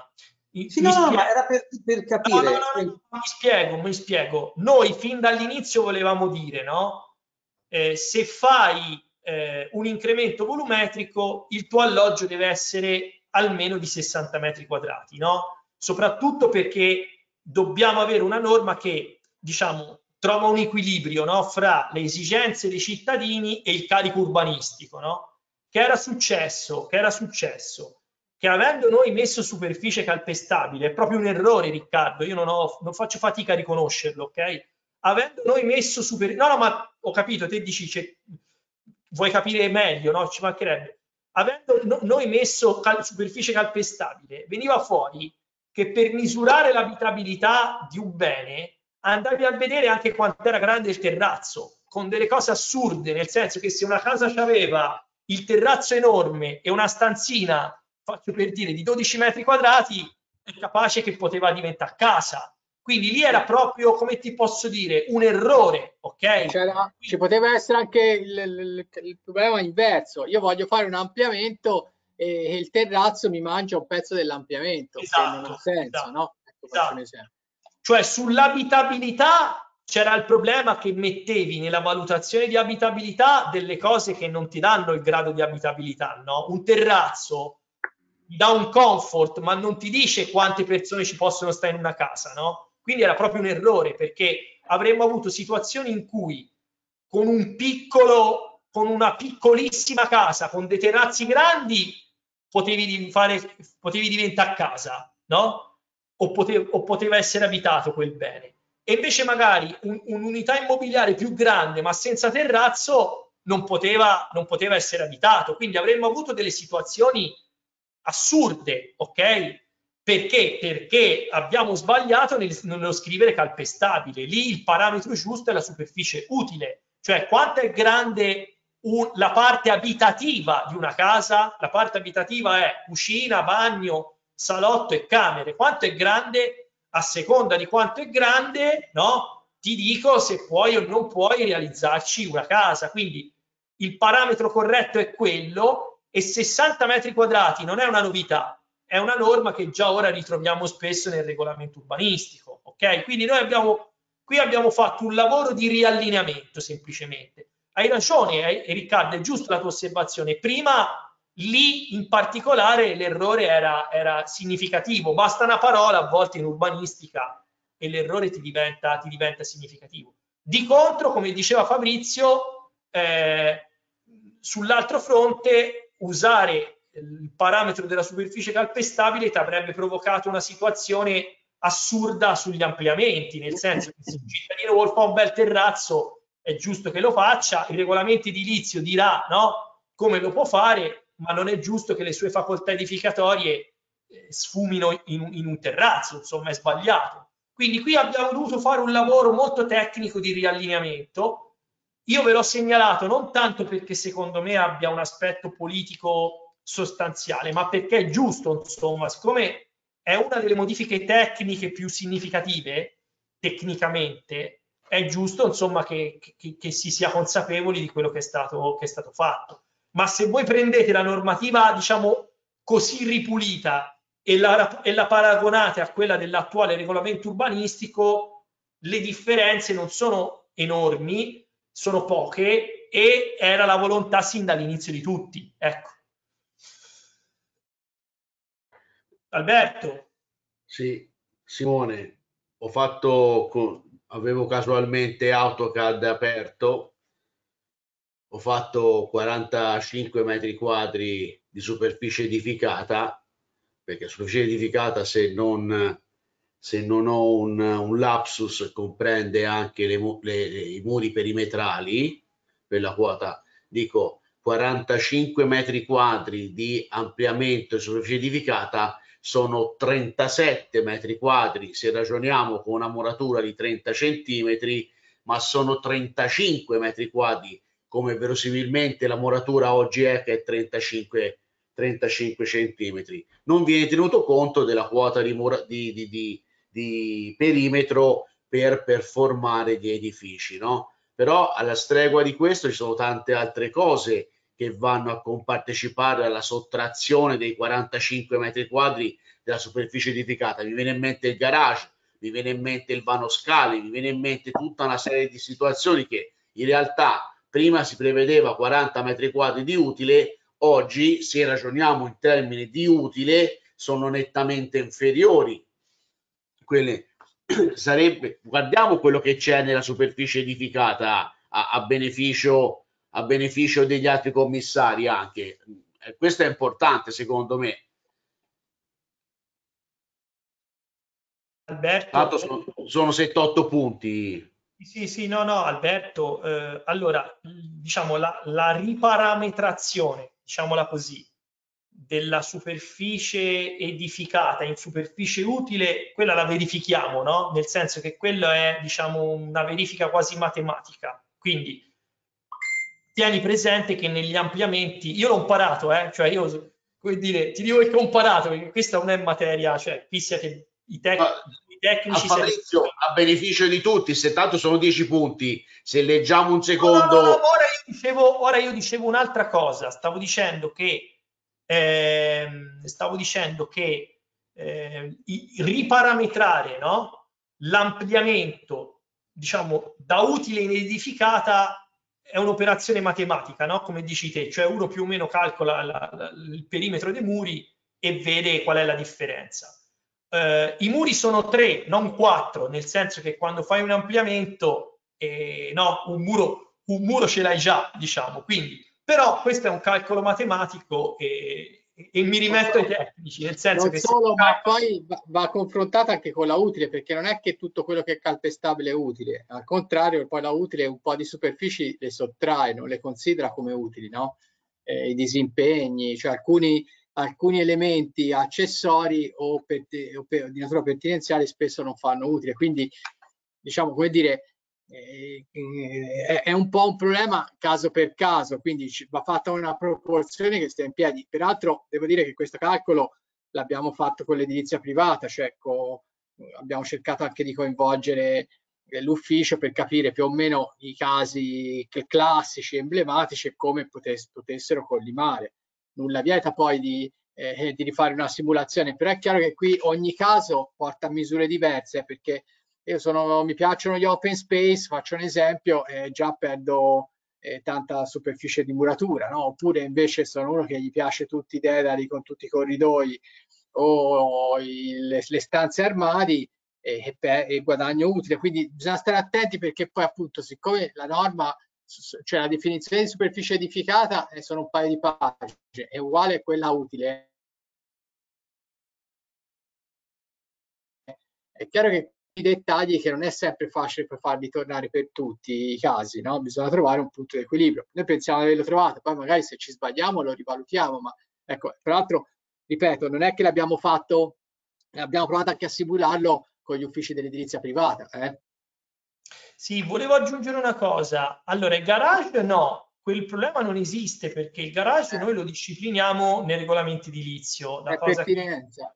È pertinenza, Alberto, quindi quello no e magari ci possono essere, questo lo capisco, alcuni vani, diciamo, funzionali all'abitazione che, che, vanno dentro eh, e invece prima non ci andavano. Eh, riflettiamoci su questo, nel senso che mh, se, siccome, que, siccome, è molto importante anche tecnicamente no, avere una normativa allineata al passato da questo punto di vista, perché se no si creano problemi sulle sanatorie, quindi è un'esigenza, come dire, L'esigenza tecnica è così preminente che anche le valutazioni politiche, secondo me, devono un po' seguirla, perché nessuno vuole mettere in, in difficoltà l'edilizia privata sulle sanatorie, magari per, per due metri quadrati, mi spiego. Quindi facciamo assolutamente una verifica tecnica, si può anche decidere, secondo me, che alcuni aspetti, come dire, mh, li escludiamo esplicitamente, no? Cioè eh, proviamo a dire che che stanno sempre nel regolamento edilizio. Operazione non facile, eh, perché più ci si discosta dalle definizioni, peggio è. Però se c'è qualche cosa che vale sempre, come posso dire, no? che è un problema che ci ritroveremo sistematicamente, si può provare anche a ragionarci sopra. Cioè, questo lo dico anche a Fabrizio, no? E, e, e Manola lo sa perché sarebbe, diciamo, problematico se poi quando si va a fare le sanatorie a verificare la doppia conformità per uno o due metri quadrati o tre metri quadrati c'è un problema di doppia conformità, cioè diventa, diventa insomma, non è opportuno insomma che ci si trovi in situazioni di questo tipo. Quindi magari ecco Alberto, voi anche, che, insomma te e altri che avete anche esperienza tecnica, ragionateci e poi magari su questo si fa una verifica specifica, non, non ci sono problemi, insomma, non è che non possiamo non usare il parametro. Ecco, il parametro corretto da usare è questo qui, superficie edificata. Questo ce lo dice la, la legge. Quindi poi dopo vediamo di fare delle cose che funzionino, insomma, non è che... Andiamo avanti? Con il regolamento edilizio, dicevo, abbiamo fatto quelle verifiche, si ritorna a 40 metri di, di, di superficie perché tanta roba che il 39R mette nella superficie edificabile noi la recuperiamo con il regolamento edilizio. Sì, non so se qui ci vuole un riferimento, lo dico a Fabrizio che magari si riflette. Forse un richiamo.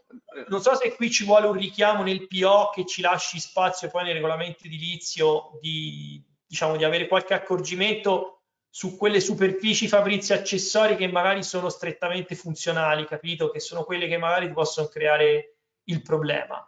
Non è così semplice, ma probabilmente lavorandoci ci si può, ci si può arrivare. Eh, che è un problema che c'è solo diciamo, nella superficie edificabile, eh, cioè quando si va a fare il calcolo dell'ampliamento. Si va avanti e su questo magari poi approfondiamo? Siete d'accordo? Sì, si può procedere. Allora, ehm, beh, allora, altre due modifiche che meritano di essere segnalate, nulla di, diciamo, di, di particolare, ma insomma, meritano di essere segnalate. Una è l'articolo 21,6,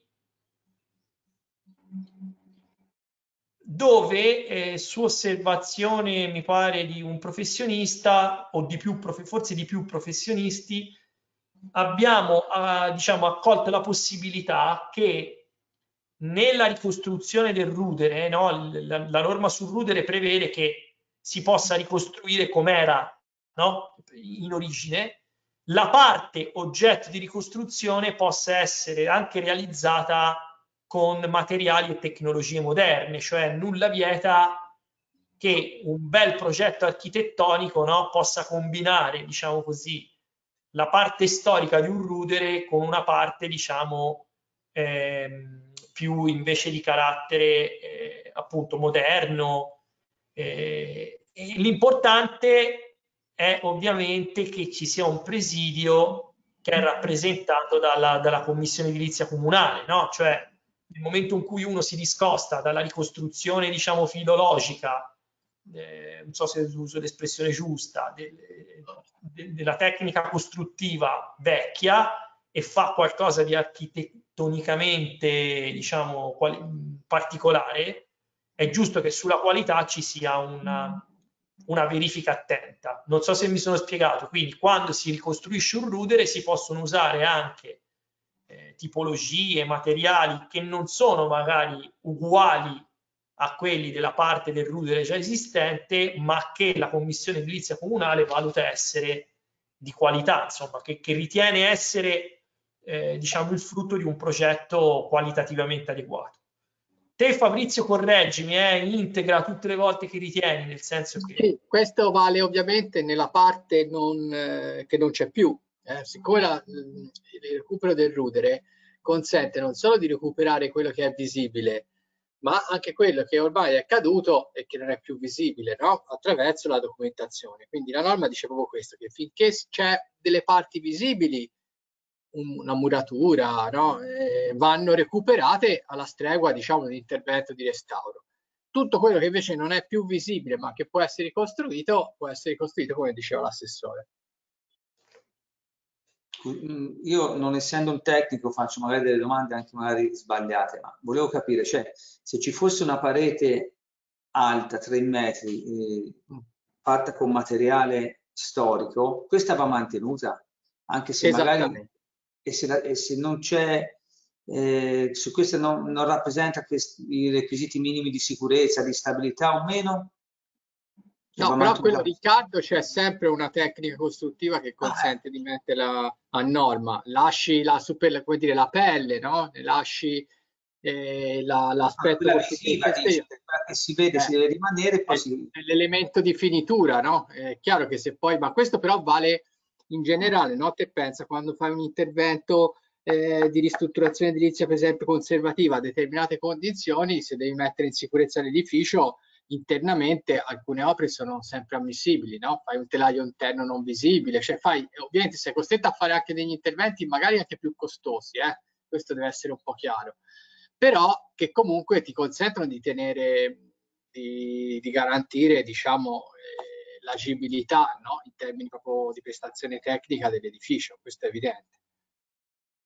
Possiamo aggiungere, fatta salva dietro motivata relazione di un ingegnere strutturista che dichiara che non è possibile mantenere la struttura, comunque obbligare alla resa, alla resa visiva dell'opera eventualmente ricostruita perfettamente fedele a quanto originario, perché ci sono delle situazioni dove non è possibile recuperare quello che è preesistente, ancorché auspicabile perché io condivido tutto, perché sono anch'io per il recupero del patrimonio, però oggettivamente ci sono delle situazioni dove hai voglia di metterci tutti i soldi che ti pare, ma se non è buono non è buona. Eh? Magari Fabrizio, questo ce l'appuntiamo e, si ragiona di una precisazione, se non c'è già, eh, se non c'è già da qualche parte, non lo so. Sì, si sta guardando.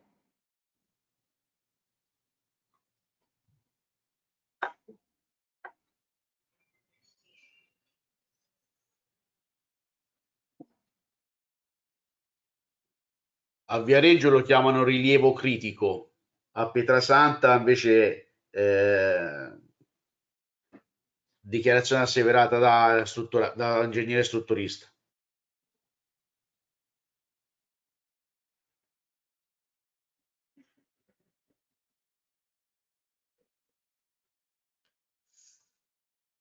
E allora qui bisogna un attimo pensare come, come scriverlo perché... Scusate, eh, qui bisogna avere però l'idea chiara di cos'è un rudere, perché è chiaro che se è un rudere è, è quasi tutto in terra e se è tutto in terra o si fa una struttura nuova o altrimenti si recupera quella parte lì. Cioè è chiaro che quello strutturalista ti dirà senz'altro che non ci sta in piedi, se no abbiamo sbagliato, è un errore materiale, non era un rudere. Se è rudere vuol dire che non sta in piedi cioè ce n'è una parte, una parte è crollata, quindi si tratta di capire come si interviene su quella parte lì. Cioè, eh, lo strutturalista non serve a nulla, è facilissimo di che il rudere casca, perché sennò non era rudere. Non ci sono reso l'idea. infatti no, a me non mi, non mi convince. Il parere della commissione è vincolante in questo caso, uno dei pochi casi che la commissione ha parere vincolante. Bisogna vedere il tipo di intervento che il professionista e, e abbina a quelle opere che ci sono. Cioè, no, ma il controsenso, se te mi dici che è un rudere europeo è un sta su, no? Allora perché eh. mi obbliga a, a, a, tenerlo su? E questo è un discorso eh, serio quello che fai te, però è qui il ragionamento. Eh, questo è il ragionamento, no? Che, che eh, si può fare, si tiene sulla parete.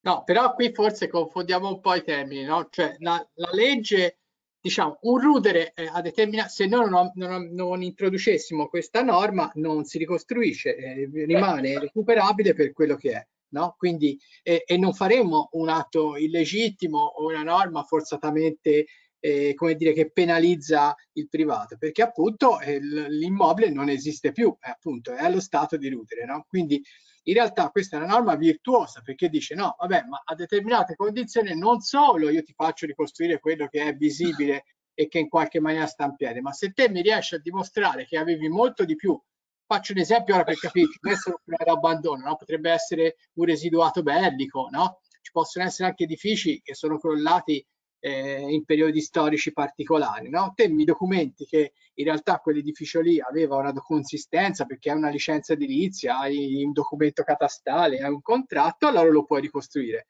Però è chiaro che la finalità della ricostruzione è quella di ma mantenere la testimonianza storica dell'edificio dell che si deve ricostruire, perché altrimenti non c'è nessun'altra finalità, no? Quindi se deve essere così forzata la ricostruzione al punto di dover cancellare Rudere per produrre un edificio che è completamente alternativo, perdiamo la finalità per cui lo facciamo ricostruire. Questo deve essere chiaro, quindi io un po' lo condivido quello che dice Roberto, siccome se è rudere vuol dire che c'è rimasto quel pochissimo, quel pochissimo in qualche maniera deve, deve pure rimanere in piedi, perché se non rimane in piedi anche quel pochissimo, perdiamo la finalità della ricostruzione. Ma io sono d'accordo con te, Fabrizio, perfettamente d'accordo. Ma non mi puoi obbligare a tenere e fammelo ricostruire uguale. Con la tecnologia che abbiamo oggi facciamo di più e meglio di quello che abbiamo prima, ma o mi fa mantenere quello che è lì. Mi obblighi sulla base della documentazione fotografica dello stato attuale, sulla base della documentazione recuperata negli atti, quella porzione che è lì, oppure la maggior parte, se è possibile, di recuperarlo, sul, di, di ricostruirlo sulle condizioni prima ma mi fa mantenere che quattro salsi marci lì che come ce li tengo lì insieme, no? Se è rudere. Poi se mi dici me lo fai architettonicamente con, mm, che la skyline sia quella, Cicarbo in termini così, a me mi sta benissimo. No, però scusa Alberto, ma non, non, non abbiamo scritto quello che dici, perché qui c'è scritto non è ammessa la, la trasformazione delle strutture verticali e delle aperture ancora esistenti. Questo vuol dire che quello che c'è no, non lo puoi trasformare, ma nulla vieta che tu a fianco tu dici possa fare una struttura d'acciaio, di cemento armato, di quel che ti pare per tenerlo in piedi. No? Quindi è questo il punto, cioè in realtà io ti faccio ricostruire anche un manufatto ex novo, come dire, che tiene, purché tu però la parte da, che è, come dire, valore testimoniale, tu non me la demolisca. È proprio qui la questione, cioè non è che io ti impedisco di fare una struttura in cemento armato, una struttura in acciaio, voglia di farla, però, come dire, ti, almeno il muro, appunto, quello che dicevi te, che sono tre sassi, proprio quei tre sassi lì, mi ce li devi mantenere in qualche maniera e proprio appiccicare, proprio perché sono, è il motivo per cui ti faccio fare la struttura in cemento armato e la struttura in acciaio, perché mi interessano quei tre sassi lì. Allora, la superficie che io vado a sottrarre alla superficie del fabbricato, perché dico, non è che si parla di fare del betoncino armato, perché poi bisogna confrontarci anche con la realtà, perché con libri siamo tutti bravi, poi sul cantiere è un'altra cosa, no? Siccome fa come dici te. Allora, ci sono no, normalmente eh, su quelli che dici te fabbricati sono muri da 50-60 centimetri e un pensare mia che con una controparete in cartongesso le tengo su quei muri lì, no? Quindi ci vorrà una struttura in acciaio, come dici te, un cemento armato. Quella super, quella super, superficie che mi, te, mi obblighi a fare e mi sta bene, non me la computi, però cioè, non è che mi devo mangiare io la superficie di quello che era la consistenza perché su quattro lati ci devo fare un cordolo giro giro no, per rimettere. esattamente il contrario perché no? Cioè io ti faccio la, ti ho la possibilità di ricostruire che co- cosa che non avresti potuto fare. Nel momento in cui ricostruisci anche se ti mangi un po' di superficie lo fai perché dopo ti e allora non li vuoi vedere ricostruiti inutili li vuoi lasciare così li vuoi perdere proprio la testimonianza di tutti. No non sono d'accordo questo non è vero bisogna saper no, fare l'intervento posso dire una cosa, siccome non mi sembra un tema, mm, cioè mi sembra, mi sembra che una soluzione si possa trovare onestamente, ecco, nel senso che intanto la cosa che dici Fabrizio forse magari uno la può esplicitare, no? Mm. Eh, come ritieni te, nel senso che qui c'è, c'è scritto solo non è ammessa la trasformazione delle strutture verticali e già per arrivare a dire che però quegli interventi lì li puoi fare ci vuole un ragionamento, no? diciamo che non è magari immediatamente percepibile da chiunque o, o, che può essere magari anche opinabile a seconda di chi legge la norma, quindi magari esplicitiamolo quello che dicevi te. E dopodiché forse Alberto il tema di quanta superficie consumo c'è fino a un certo punto, nel senso che nel momento siccome qui te non hai dei parametri, no? Non è che c'è scritto 40 metri quadrati di superficie utile piuttosto che di superficie edificabile. Più... Nel momento in cui mi fai la ricostruzione, no? Del rudere, ma nessuno, secondo me, eh, nessuno ti verrà mai a contestare che c'hai, che ne so, eh, no? Una superficie utile che è leggermente più grande perché no, eh, scusa, una superficie edificabile che è leggermente più grande perché c'è da considerare una uno spessore. No? Secondo me non c'è quel problema lì. No? Il senso della norma è ho un rudere, se faccio un'operazione no, di, di, ricostruzione eh, dei, dei, suoi caratteri di, di conservazione dei suoi caratteri storici e di ricostruzione di qualità, diciamo, dei caratteri mancanti, se l'edificio che viene fuori è sostanzialmente uguale a quello vecchio, non credo che sia il metro quadrato che ti sposta le cose. Cioè mi sembra più una norma... No, no, ma, Faccio un esempio pratico, no? Normalmente i ruderi che abbiamo noi sono degli accampamenti Siux, no? Sono tre sassi sparsi, eh, già è difficile individuare l'impronta, però magari ci sono tre o quattro sassi, no? Se te mi dici, se l'intendimento che dice Fabrizio è che quello dell'amministrazione è D, va bene, quei quattro sassi che sono i filari delle fondazioni, me le mantieni, no? Ok? Io ci faccio un bel solaio glu dentro con la, la, mia contrafforte di cemento armato a mantenere che quattro sassi che sono lì, sopra ci vado col misolaio che rivesto con sassi e vado sopra. Va bene così anche Fabrizio, va bene così come, come, come tipologia di intervento, eh, no? Anche perché poi te lo valuta la commissione edilizia, se va bene o non va bene. Però quando cioè, si parla di molto architettonica, ecco, dove conta molto la qualità sì. del progetto architettonico ma quando si parla di strutture verticali e delle aperture ancora esistenti, si parla di qualcosa di consistente. È chiaro che se c'è un metro, come dicevo prima, di vecchi sassi, quella lì non è la struttura verticale esistente, quella lì non ha senso mantenere un metro o due metri. Qui si tratta di mantenere una porzione di un fabbricato che ha una certa consistenza e allora è giusto tenerla in piedi, però un pezzo di muro, come dice Iacomini, messo lì, accampamento Siux, non è una struttura verticale e delle aperture esistenti, non c'è più nulla. Quindi è una ricostruzione eh, con la sagoma, con tutti gli accorgimenti che ci vogliono, con i materiali di una volta. Se uno ci vuole fare qualcosa di diverso, di vetro o di coso, passa attraverso la commissione edilizia con parere vincolante. Io la leggo in quel modo lì la norma. Cioè non è che leggo... No, ma infatti per paradosso Roberto, meno, ma, meno struttura c'è e più è facile recuperare, no? Cioè esattamente il contrario, la difficoltà è il contrario di quella che dicevi te Alberto, cioè la difficoltà ce l'hai se te c'è un fabbricato di tre piani, tutto lo stato di rude e c'è addirittura ancora visibile le finestre al terzo piano. Lì è la difficoltà. Ma quando c'è tre sassi solo per terra, dov'è la difficoltà? Mantenere quei tre sassi lì è più che cioè, eh, si fa senza nessun problema. Ecco, semmai la vedo più, diciamo, è più complicata questa norma, più la struttura edilizia ha una sua complessità meno la struttura edilizia è complessa e più, e più è facile utilizzare, applicarla.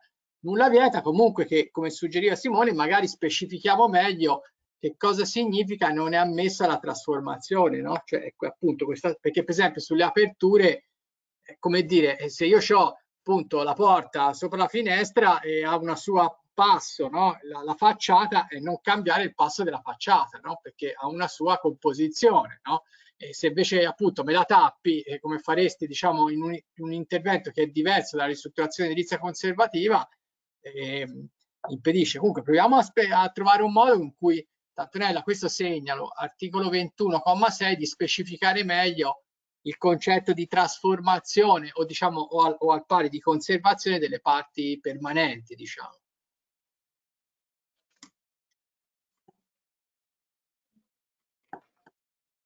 Allora, scusate se torno indietro, ma mi sono dimenticato una modifica, insomma, che ha una sua importanza. Articolo 17.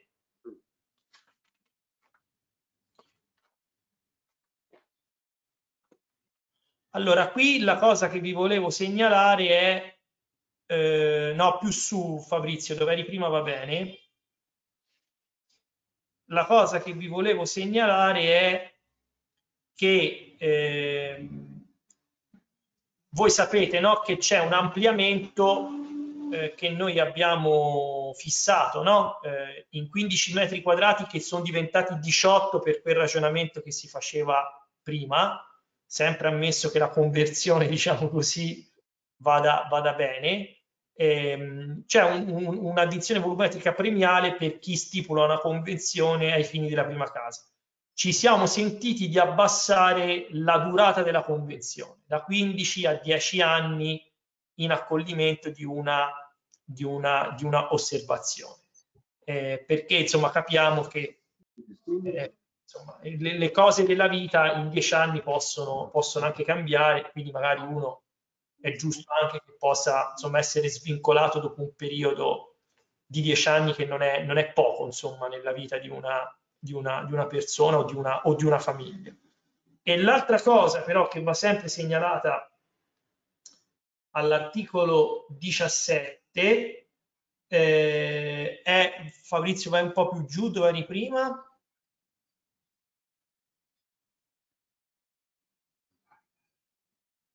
è tutto il tema della prima casa legato agli, agli edifici 2 che abbiamo recuperato esatto. tutta la norma che era nel vecchio regolamento urbanistico e che noi avevamo lasciato nel territorio rurale e ci eravamo dimenticati diciamo esatto. di metterla anche sugli insediamenti storici. Esatto, questa è la norma che avevamo già messo nel vecchio RU come diceva l'architetto Cinquini e che per errore era stata riportata nel PO soltanto nella parte rurale, invece andava ovviamente messa anche nel territorio urbanizzato. Quindi questa non è una, non è una novità, ma ve lo segnalo perché insomma è importante, abbiamo corretto un'omissione, diciamo un errore di omissione. E, ehm, poi andando avanti, eh, sempre fra le modifiche che mi sembrano più significative, tante sono aggiustamenti, vi segnalo l'articolo 27. Scusa Simone, ma il sì? comma la prima parte del comma 6 che consente anche il mutamento di destinazione d'uso dei manufatti pertinenziali per la prima casa. Sì, vero, questo va spiegato, questo va spiegato, nel senso che eh, cosa succede? Ha ragione Manola, brava Manola, perché questa è una cosa molto importante da spiegare. Allora, cosa succede? Eh, trasferendo, trasferendo la norma che avevamo messo no? eh, su, soltanto sul territorio rurale nel territorio urbanizzato, eh, ci siamo posti il problema di capire se nella, eh, diciamo, nella riorganizzazione del tessuto edilizio ai fini della prima casa, che vi ricordo nel caso di demolizione e ricostruzione non può essere superiore a 80 metri quadrati, eh, ci potessimo anche mettere dentro le, le pertinenze, cioè gli, gli edifici di tipo, di tipo pertinenziale. Eh, abbiamo dato una risposta positiva, cioè abbiamo detto se nell'ambito del territorio urbanizzato un cittadino eh, ha un edificio che non ha una destinazione d'uso eh, residenziale, ma ha una destinazione d'uso diversa e fa un'operazione di ripulitura de, de, della propria, della propria diciamo, resede e di quindi riqualificazione, chiamiamola ambientale paesaggistica, ai fini della prima casa, si parla sempre di politiche della prima casa, quindi con la convenzione da farsi con il, con il comune che ti obbliga a viverci, eh, se si fa un'operazione, se un cittadino per esigenze sociali fa un'operazione di questo tipo, co- non, gliela consentiamo di fare anche mettendo in gioco volumi che abbiano una natura pertinenziale.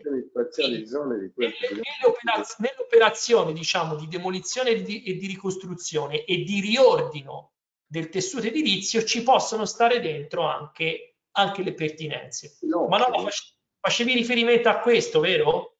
Sì, sì. Ma ora voglio dire una cosa anch'io. Questo.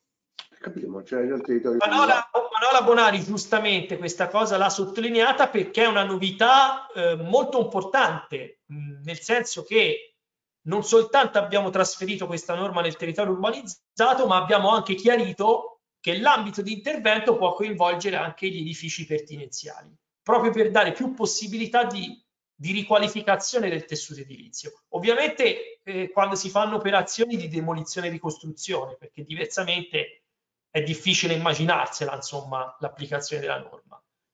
Eh, eh, faccio una precisa... Riccardo, scusa, poi ti lascio la parola.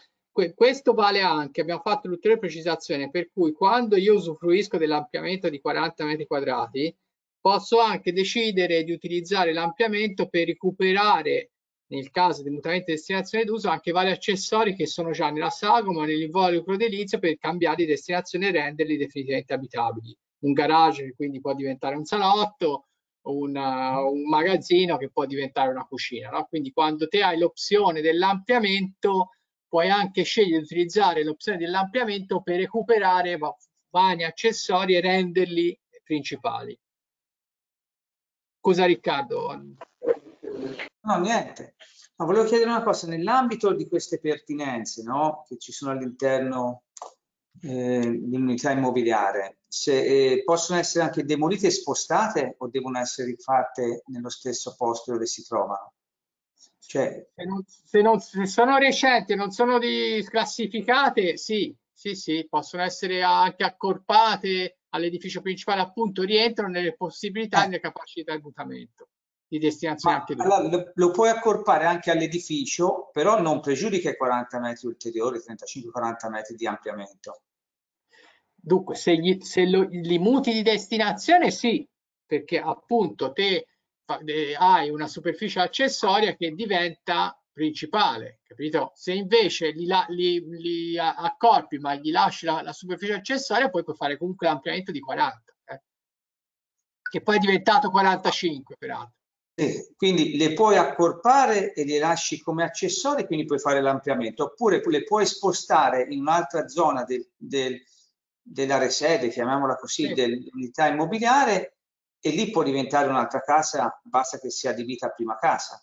E abbia le dimensioni minime che 80, abbiamo dato. 80 metri. Sì. No, no, 80 ah, metri. Massimo 80 metri, scusa. Poi massimo, massimo, minimo, prima casa è 40. Eh. No, forse 38 l'abbiamo portato Simone, non mi ricordo, mi sa, è 40. Forse è 38, non me lo ricordo nemmeno io. Ecco, e a me anche quello che è stato portato, alla, quello dell'articolo se ti ricordi Simone di portarla a 10 la convenzione perché ci sembrava troppo lunga 15 anni infatti, infatti, mi fa piacere che sia stata accolta questa cosa qui Fabrizio mi fa piacere anche a me della convenzione perché ero effettivamente contraria proprio di netto, quindi voglio dire, sono contenta anch'io che sia stata portata a 10. Ma volevo dire, gli 80 metri quadri sono netti o lordi? Beh, allora andiamo a vedere nella logica che abbiamo seguito fino ad ora, gli 80 metri quadrati, siccome indicano una dimensione massima, dovrebbe essere secondo me superficie utile, ma è la mia opinione, eh? non è che guardiamo un allora, po'. Allora sarebbe buono e poi su, si possono avere tutti su un piano o su due piani. No, quello mi pare non l'abbiamo scritto, non c'è un... Dipende, dipende, dipende, dipende, Michela, dove sei, no? Perché poi nelle varie zone sono possibili certe cose piuttosto che altre. Però è sparito Fabrizio ed è sparito anche... No, Fabrizio c'è. Fabrizio! Eh, non c'è, mi si era bloccato tutto, non vedevo più nessuno. Okay, okay. Sì, volevo Dai. fare una... Volevo aspetta, fare una... Aspetta, prima che tu intervenga, Fabrizio chiedeva a Michela una domanda giust, giustissima eh, gli 80 metri quadrati sono di superficie utile, secondo me dovrebbero essere di superficie utile, però controlliamo. Per la, per la logica che abbiamo usato sulla Forse andrebbe specificato anche. No, edificabile, edificabile. Ecco, forse su questo si può ragionare, perché onest, lo dico con onestà intellettuale, nel senso che siccome la misura dell'abitabilità noi abbiamo detto che si fa inutile, forse si potrebbe anche qui forse si potrebbe anche sì. scrivere utile. E, e non so cosa ne pensi, Fabrizio. Sì, mm, penso anch'io che non ci siano grandi grossi problemi a scrivere utile invece che edificabile. Mi sembra Antonella, segnalo articolo 17, comma 6, verificare un cambio da, da edificabile a utile visto che la superficie minima è inutile, forse anche la superficie massima è giusto che sia sì. inutile. Sì. E guardiamo okay, la prima casa se è 40 o 38, che non me lo ricordo. È 40, l'ho controllato, ma c'era un motivo, Simone, non ti, si fece tutto il ragionamento perché se era messo 38 poi la perché se no si rischiava che col, con l'addizione... è più grande del... Bravo, bravo, esattamente, esattamente. Ma va bene 40. Volevo fare un intervento anche. Alberto. Fabrizio, Simone e, e chi di dovere, eh, sulla scorta dell'intervento che mi ha preceduto di Riccardo, no? dove diceva se ho un volume già presente, una, una, super, una SUL già presente l'accordo al fabbricato principale e gli avete risposto la sottraggo, la sottraggo dal plafond dell'ampliamento, no? Perché non valutare invece come fa, porto l'esempio di Pietrasanta, che l'ampliamento è l'ampliamento perché erodo, erodo consumo del suolo, no? Mentre di, di superfici già assentite a Pietrasanta ti fanno semplicemente pagare gli oneri e il costo sul cambio d'uso funzionale, no? Dico, per esempio, succede che ci sono tanti piani terra dei fabbricati che sono a 2,70 con ripostiglio 2,70, 2,80 con destinazione ripostiglio, stalle o quant'altro e fare il cambio di destinazione e monetizzare quel cambio, ma non precludermi la possibilità di fare, la, di fare l'ampliamento, essendo già delle superfici già esistenti da valutare questa opportunità qua per incentivare la riorganizzazione anche del lotto, perché tante volte sono edifici sparsi, eh, questo pensiero qua. Alberto, ti dico io una cosa di carattere generale, eh, senza entrare nel merito. Allora, il problema, allora noi soprattutto nel territorio urbanizzato abbiamo una certa libertà no? di, di, di, di disciplina. Allora, il problema qual è? Per quello ti dico che il, diciamo, il parallelo con altri comuni si fa male. Il problema qual è? Il problema è che te devi avere un equilibrio complessivo eh, per il quale la disciplina che hai rientra, come dire, complessivamente, ragionevolmente nel concetto di ampliamento, di riutilizzo dell'esistente. Se te, se te se, aspetta, fammi finire. Se te hai una disciplina la cui sommatoria degli effetti no, ti crea una sproporzione fra l'edificio di partenza e l'edificio finale, il rischio è che tu casca, che tu caschi, scusa, in un fenomeno molto vicino alla nuova edificazione. E se caschi in un fenomeno molto vicino alla nuova edificazione, nascono una serie di problemi perché la nuova edificazione è, eh, diciamo, governata dal dimensionamento del piano strutturale e ha delle regole di, diverse.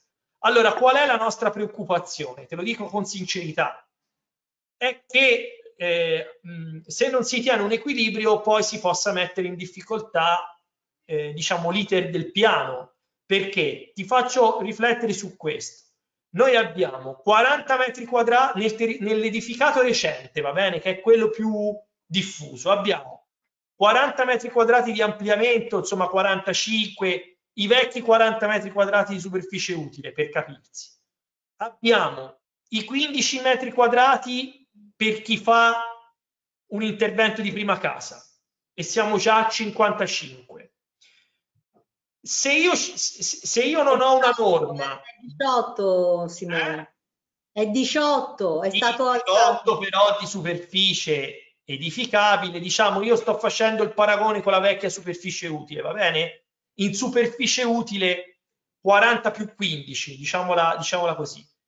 Se io inserisco una norma che dice che qualsiasi vano accessorio diventa abitabile e non mi consuma niente, il rischio può essere quello che qualcuno mi dica, è fra ampliamenti che concedi e, e, e, e norme che liberalizzano diciamo, i cambi d'uso, te hai come dire un panorama che non governi più.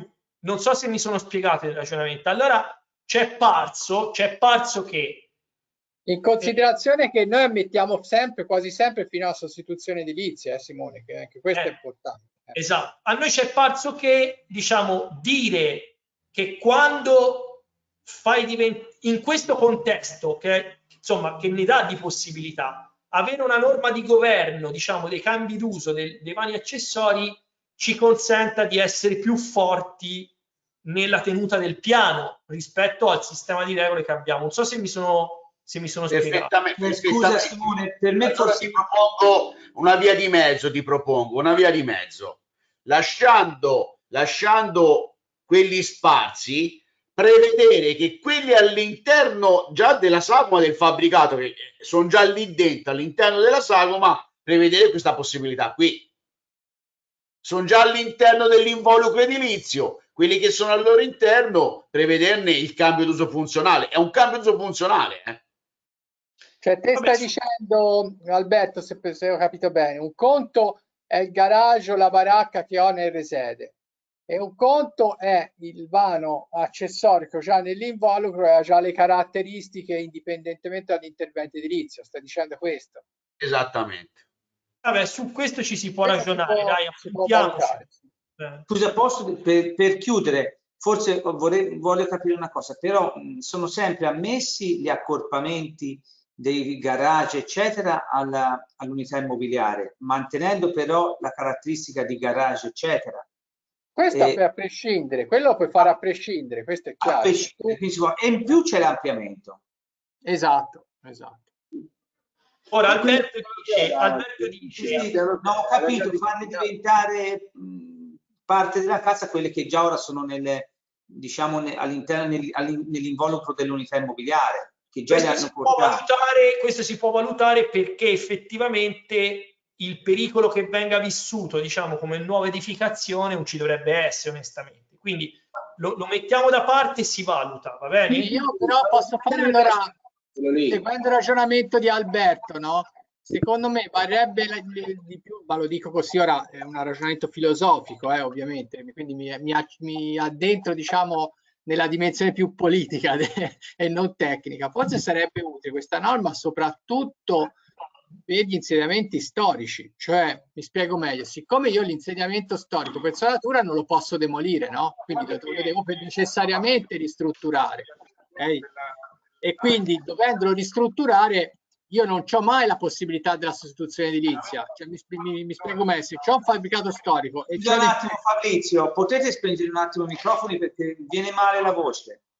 Cioè, seguendo il ragionamento di Alberto, mi sembra che la proposta di Alberto sarebbe utile soprattutto, secondo me, in tutti quelli che sono gli insediamenti storici, no? Perché? Perché l'insediamento storico non può fare la sostituzione edilizia e neanche la ristrutturazione edilizia conservativa, cioè io devo conservare il manufatto, non lo posso demolire e accorpare, mi segui? E quindi inevitabilmente mi può capitare di avere la cantina, il vecchio magazzino che magari ha i requisiti no, di altezza, eccetera, per poter mutare di destinazione d'uso e peraltro io siccome non lo posso abbattere, perché non lo posso cambiare d'uso, no?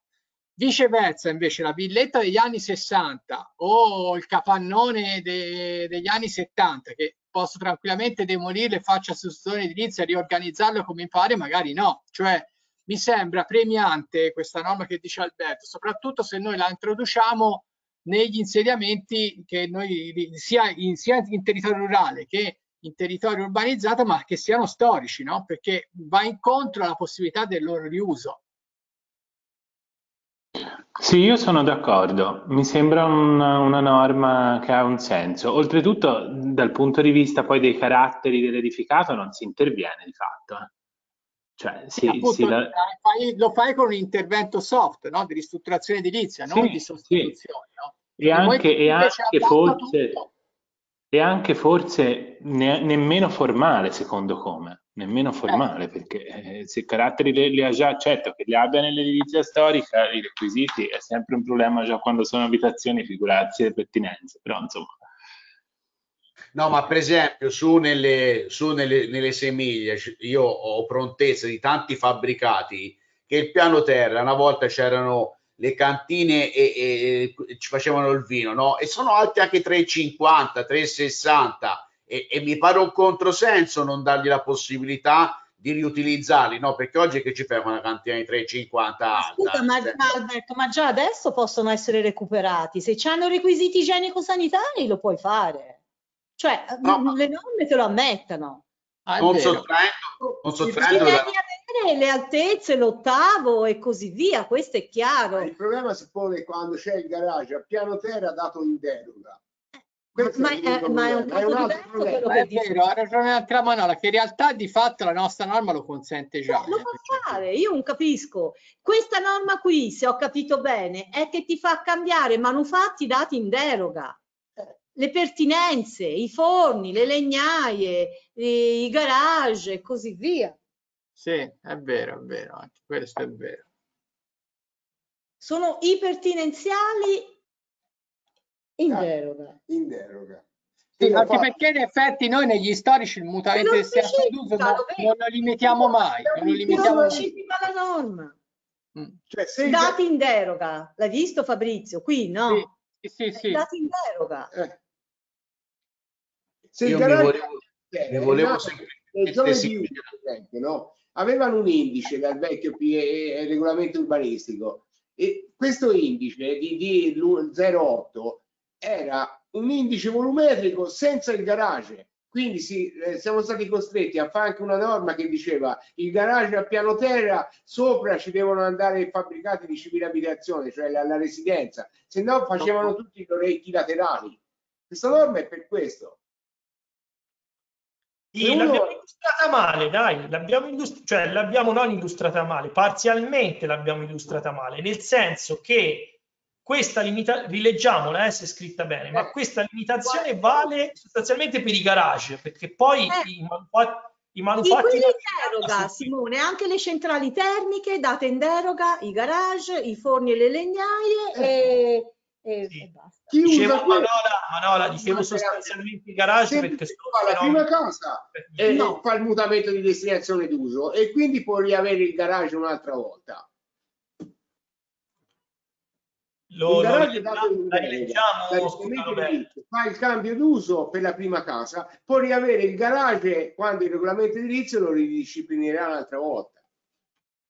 Io la leggo così, poi eh, la dovevamo scrivere così, ora poi se non è chiara, eh, cioè, sistemiamola, ecco. È l'articolo Fabrizio. Sì, me lo dite dov'è che non lo trovo più? Comma 6 dell'articolo 17. 17. Era quella che tu eri d'accordo, no? Che si ridà il garage un'altra Sì, volta. infatti, Dicono, ci abbiamo lo fatto una discussione con questo, questo, questo. Ma te non è quello dell'articolo 6, dell'articolo 16.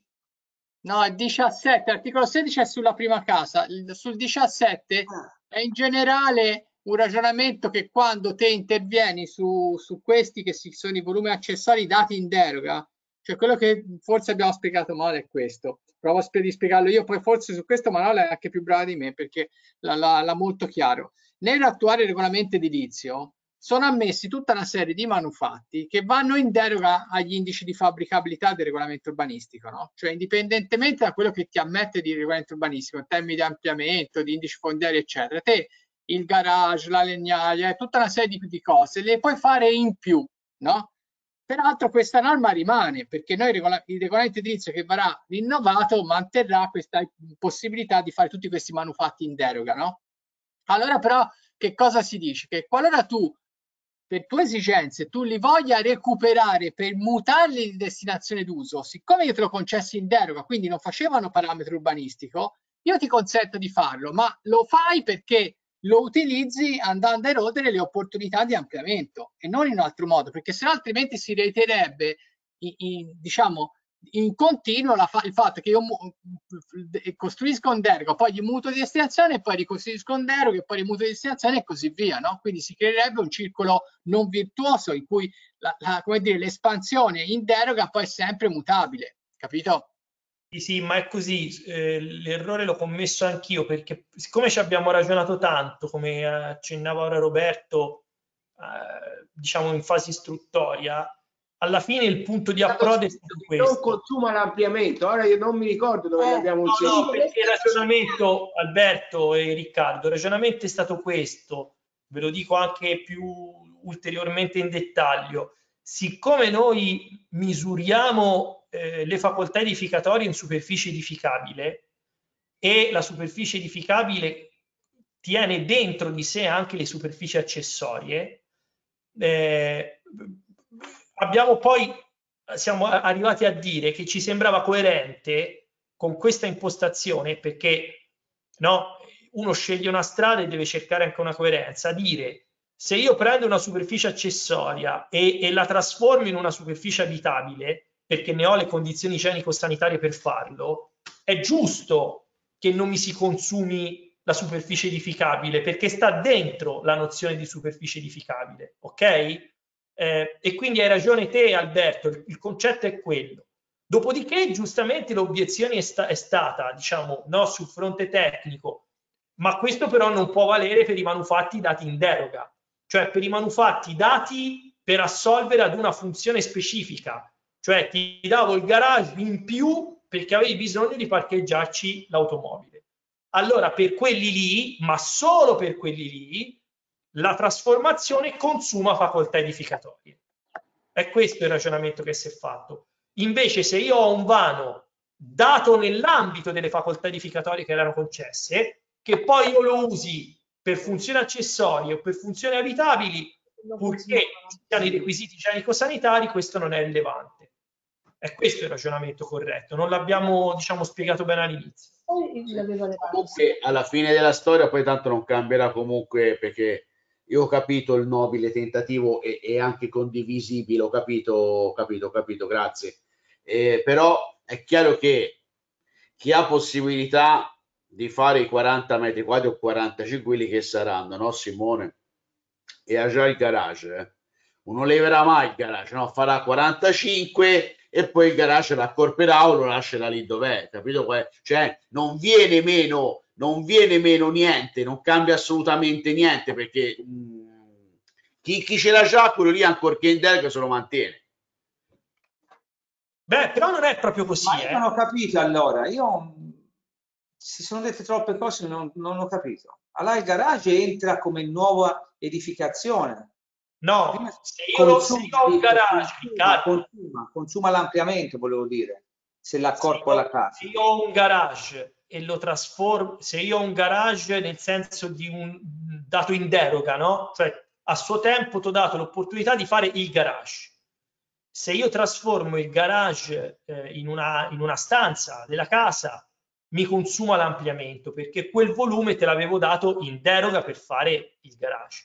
Se io invece ho un vano accessorio, va bene, in casa mia, che è figlio della volumetria che mi spettava di diritto dal piano, a prescindere dall'uso, intendo dire, sono libero di fare l'uso che, che- che ne voglio, purché rispetti le normative igienico-sanitarie. Cioè, se io avevo l'opportunità a suo tempo di fare una casa di 80 metri quadrati, ho fatto una casa di 80 metri quadrati e ho un vano accessorio di 12 metri quadrati che ora uso, che ne so, come ripostiglio, faccio per dire, se quel vano accessorio ha le caratteristiche per essere usato come una camera da letto, ok? O posso fare interventi minimi che il piano mi concede, per, no? Che ne so, un'apertura di una finestra, eh, per renderlo abitabile, io lo posso fare senza consumarmi superficie. Perché? Perché in quel caso lì fa parte già dei diritti edificatori che avevo a prescindere dall'uso accessorio o meno, fa parte della casa che avevo già. Era l'obiezione che ci ha fatta Alberto e che era giusta, ma noi l'avevamo, senza averlo spiegato bene, già considerata nella costruzione della norma, perché il limite riguarda solo i vani dati in deroga, che sono quelli che ha detto la Manuela Bonari prima, cioè i garage, le centrali termiche, perché se io ti do un vano per metterci la caldaia, è chiaro che se poi te me lo vuoi trasformare in stanza, siccome io te l'ho dato in più per metterci la caldaia, no? Eh, o la centralina termica, è chiaro che a quel punto è giusto che consumi, diciamo, l'ampliamento. Quindi eh, la norma però è importante, la norma però, eh, Manola correggimi eh, poi se sbaglio, la norma però è importante perché in ogni caso, tornando al ragionamento di prima, nelle, nelle politiche di prima casa, nelle politiche di prima casa, invece ti consente ai fini della prima casa di riusare tutti i volumi che, che vuoi, ok? Perché eh, magari lì c'è un'esigenza sociale che è quella della prima casa, della convenzione, eccetera, eccetera. E in più di fare in deroga quello che il regolamento edilizio dirà per eh, quello che è rimasto. Sì, perché Posso, posso fare una domanda, Simone? Volevo chiedere una cosa. Se uno ha una volumetria, no, regolarmente acquisita o, o presa all'asta, insomma, comprata, oppure eh, che gli è venuta in eredità, ok, mettiti 200 metri, insomma, una volumetria regolare e ci vuol fare la prima casa, può fare solo 80 metri, il resto lo butta via tutto? E fa demolizione e ricostruzione? Sì. Se fa un intervento che prevede la demolizione con la ricostruzione e hai una destinazione d'uso diversa, sì. Se no, no. Quest- questo obbligo scatta quando demolisci e ricostruisci. L'idea, Michela, è ti do l'opportunità di trasformare un oggetto in abitativo, però mi fai un'operazione di, di- di recupero paesaggistico, ambientale, perché eh, ne- nelle zone diciamo del nostro territorio a volte ci sono anche delle situazioni eh, che vanno riordinate, cioè a volte ci sono immobili condonati brutti, molto grandi. E- è- mh, se, è un- se è- se è la politica per la prima casa, no? Non è che ci possono venire fuori 3, 4, 5 unità abitative, non è che ci può venire fuori il villone di 400 metri No, no, quadrati. a- attenzione che su questo, Simone, mi permette scusa di interrompere, su questo c'è proprio una giurisprudenza co- consolidata di lottizzazione abusiva, eh. attenzione, cioè non è, se io abbatto un capannone e, mi, e mi e per- siccome ho tanta consistenza ci faccio quattro villette, è lottizzazione abusiva, cioè non si può fare. Quindi bisogna No, stare attenti a, a- calibrare rispetto alla Roba che- dimensione.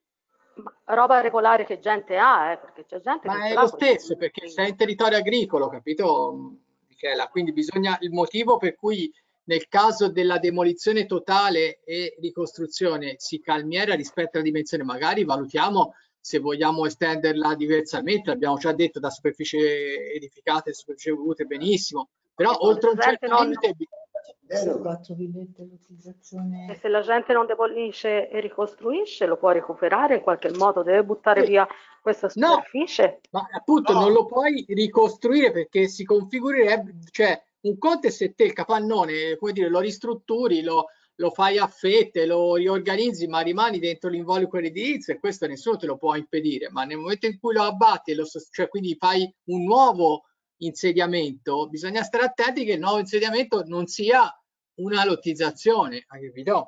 Michela, tendenzialmente cosa succede? Succede che se uno fa un intervento, no, di diciamo fino alla ristrutturazione edilizia conservativa, cioè che mantengo l'involucro che ho, vuol dire che, come dire, che agisco no, su un bene che ha una sua consistenza, ha spesso anche un suo pregio. Te pensa appunto agli edifici del patrimonio storico, no? Ci possono essere edifi- edifici storici con una destinazione d'uso non residenziale che sono belli, no? Quindi finché io lavoro sull'esistente, problemi non ce n'è.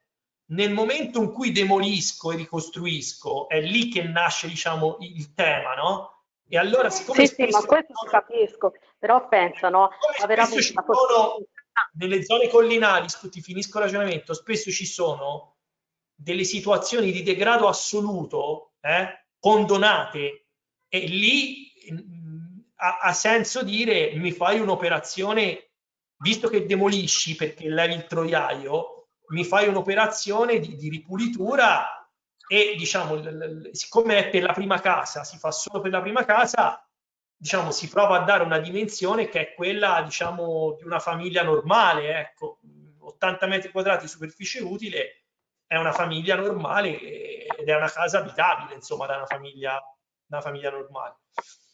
Volevo, per chiudere, poi non dico altro. Allora, sulla scia di quello che ha detto mh, Lucchesi, no, Roberto? Allora, se io mh, questi, eh, queste pertinenze le trasformo in prima casa, no? E, e ho la facol- posso trasformarle in prima casa. Dopo in deroga mi può essere ridato il permesso di ricostruire il garage, eccetera. Mi sembra aver capito questo, Roberto, o sbaglio?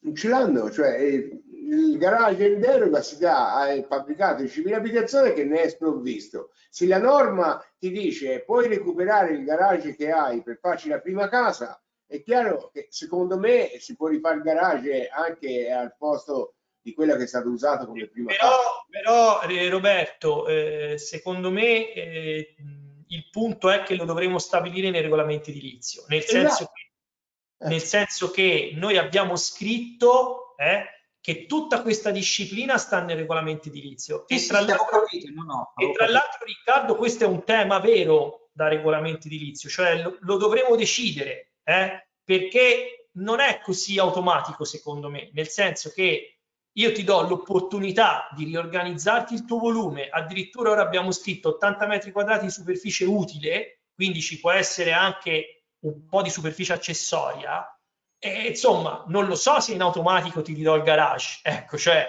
eh, Mi sono spiegato male, non è in automatico, i regolamenti edilizio lo prevedere. Esatto, Non ho detto andrà stabilito, andrà stabilito nei regolamenti edilizi. Eh, appunto, dicevo, però uno se nel, mh, nel, campo, nel, nel campo del regolamento edilizio si può eh, dire eventualmente che quella casa che non ha il garage in deroga gli viene ridato. Faccio- lo dico così, magari...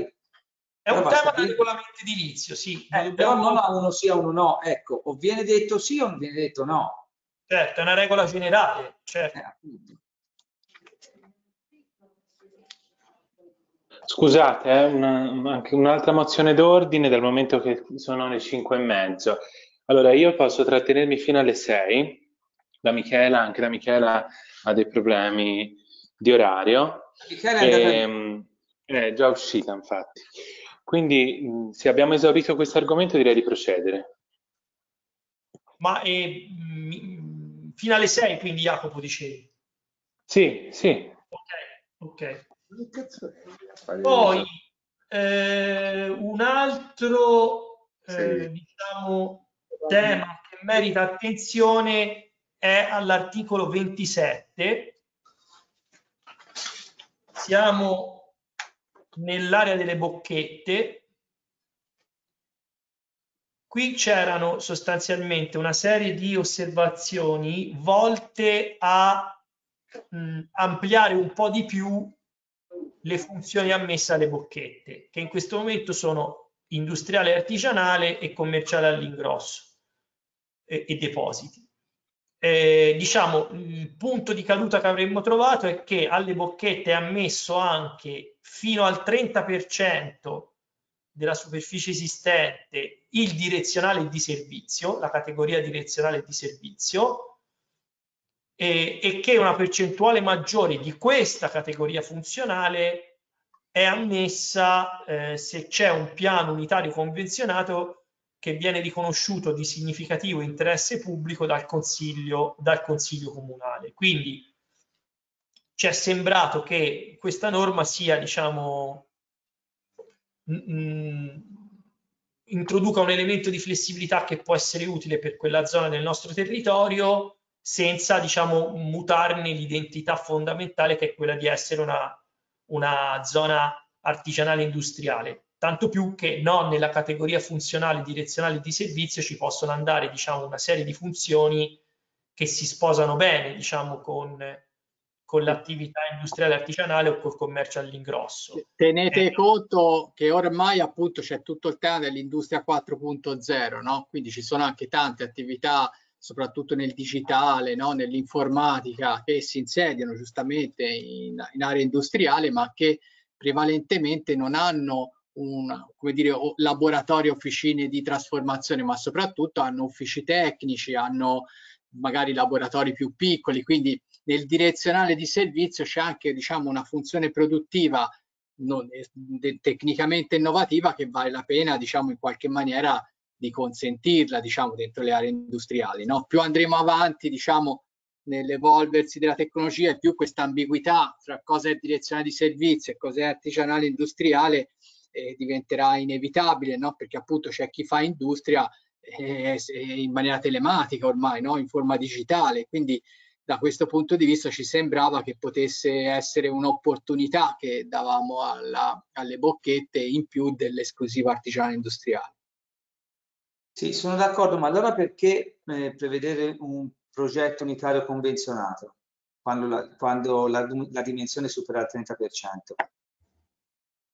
per avere un controllo maggiore, Riccardo, ma insomma ci si può ragionare eh, su questo, sugli interventi grossi, nel senso che magari ci possono essere interventi su capannoni molto grossi e magari capito, ci può essere una, una scala dell'intervento che merita di essere, merita di essere. Ma- Manola, sp- spengete il microfono se non si sente. Ah, sì, Eh, C'è una scala dell'intervento magari importante che se il consiglio comunale la, la controlla può essere, può essere meglio. Ecco. Ehm, La valutazione è questa, insomma. Pensavo che- fosse un limite, capito? Magari non lo so, magari richiede tempi. Vabbè, Sai, il PUC comunque è uno strumento molto agile eh, perché eh, non c'ha la doppia approvazione, c'ha un solo passaggio in consiglio comunale, però ha il vantaggio che intanto è uno strumento attuativo di natura urbanistica, quindi permette agli uffici di controllare gli standard urbanistici, anche tutta una se- serie di cose che magari nell'intervento diretto fatto solo in forma unilaterale dal privato rischia anche di, di- di creare un po' di confusione. In questa maniera, diciamo, non è un piano attuativo, è un PUC, quindi è un progetto ha immediatamente dopo il titolo, quindi in realtà non è così complicato. eh. Il PUC ha il vantaggio diciamo, sol- di un solo passaggio in Consiglio Comunale. io ho capito, ma non, non so se uno sviluppa un'area direzionale di servizio quale possa essere l'interesse pubblico. Ecco, era lì il mio ragionamento. Ah, questo è un altro discorso, sì. cioè te dici do- in che cosa si ravvisa l'interesse pubblico, Probabil- diciamo, seco- questo magari faccio, Simone l'ha anche più chiaro di me, probabilmente è nel fatto che te comunque mantieni un'attività produttiva, eh, innalzi i livelli di occupazione, rigeneri comunque un tessuto che magari è abbandonato, no? Cioè quindi o sottoutilizzato in questi termini qui, evidentemente non è che in cambio ti vengono misure compensative e perequative, in cambio ti viene diciamo la rigenerazione di un insediamento. Ecco. Posso fare una domanda? Ma, ma, magari, magari banale, eh, mi è sfuggita a me, però è, è, un tema, è un tema che magari è rimasto in sospeso le volte scorse. Faccio un passo generale. Quando mi date la possibilità di recuperare i fabbricati esistenti, no? Per trasformarli in civile abitazione, la parte preesistente è implicito che me la fate adeguare agli standard o devo partire da una situazione che abbia già degli standard, ovvero il classico metato che posso recuperare, che magari l'altezza 2,40 o, o, o la superficie illuminante non, so, non so, soddisfacenti, non sufficienti. Cioè è implicito che lo adeguo quella parte che è esistente. No, io scusa Alberto, non ho capito la domanda, ma davvero, cioè non l'ho capita io. Cioè, quando mi date la possibilità di recuperare in civile abitazione il patrimonio edilizio esistente che non è civile abitazione, no? Dico, la parte che è preesistente è implicito che l'altezza se non è 2,70 me la fate portare a 2,70? No, non è implicito. E se no, eh, se, se, se, un manufatto fosse un metro, te che fai? Lo alzi di un metro e settanta?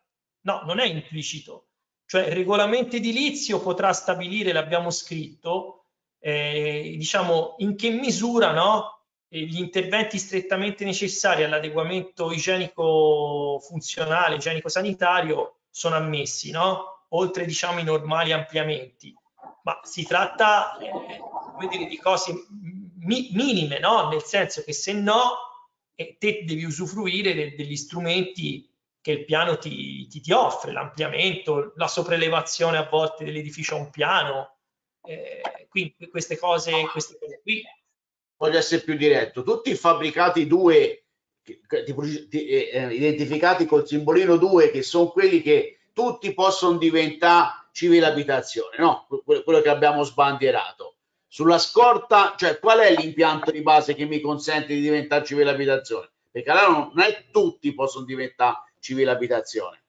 No, possono diventare civile abitazione quelli che attraverso gli interventi ammessi hanno, raggiungono i requisiti igienico-sanitari. Esatto. Ma, questo, ma, questo, vale sempre, eh? cioè in urbanistica ed edilizia vale sempre. Non è che eh, non c'è mai una situazione nella quale tutto può diventare civile abitazione, dipenderà dalle caratteristiche del fabbricato di partenza, no? Non è nemmeno giusto che tutto diventi civile abitazione, non è che se io cittadino ho un edificio no, di una certa consistenza e sono nella stessa situazione di uno che magari ha 5 metri quadrati condonati, no? Ora 5 metri quadrati un, un senso, 10, 12, 15, cioè eh, questo vale sempre però Alberto, non, cioè,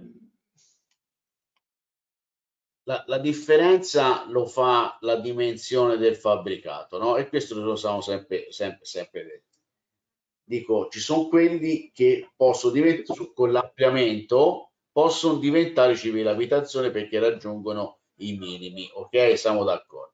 Se la parte preesistente quella che c'è ora che può godere di questo ampliamento è 2,40 2,50 invece che 2,70 me lo fate portare a 2,70 se no viene, se no viene meno i 40 metri quadri di ampliamento se gli originali 30 metri non, non hanno 2,70 d'altezza. Questo che volevo dire io.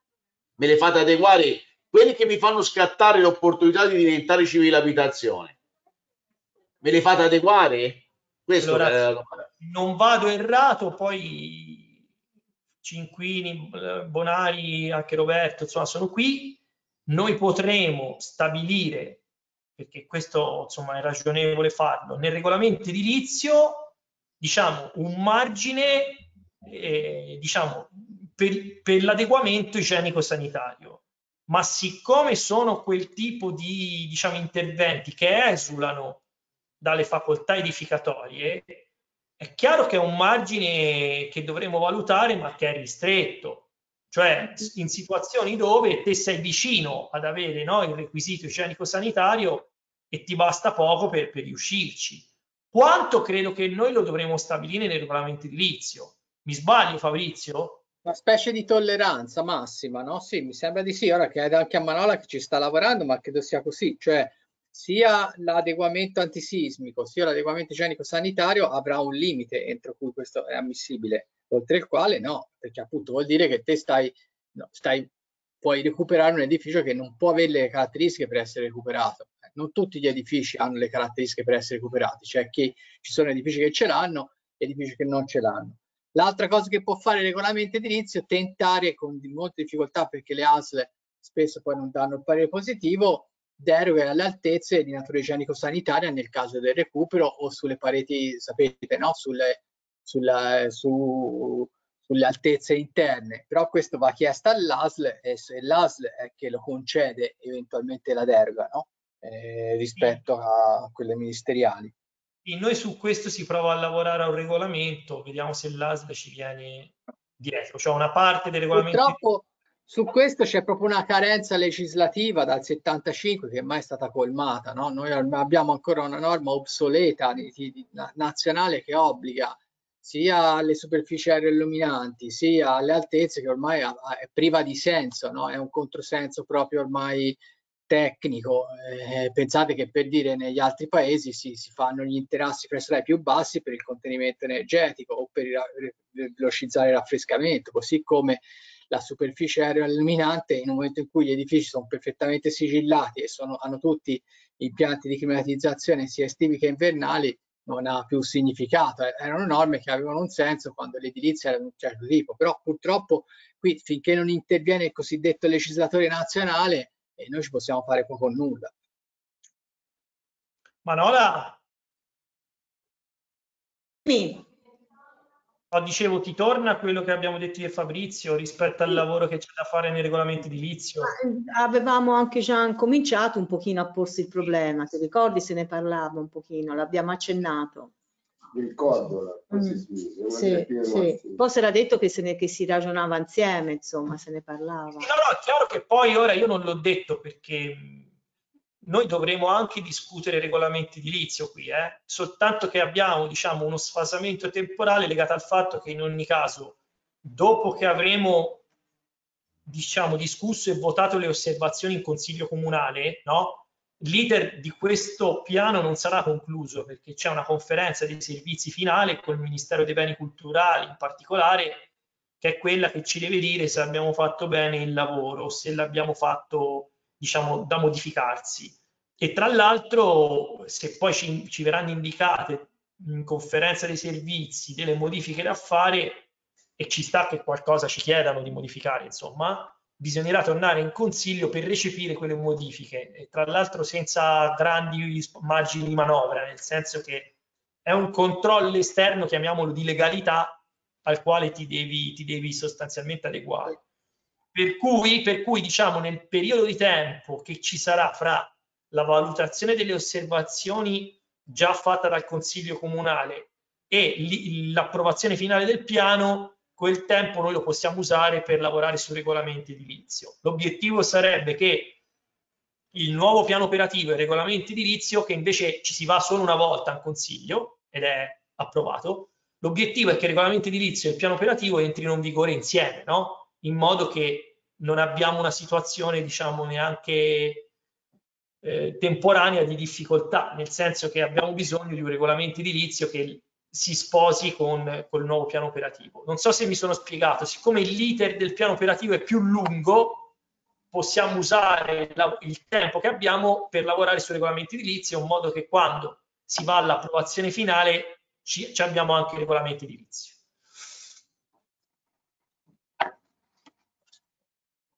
Vado avanti?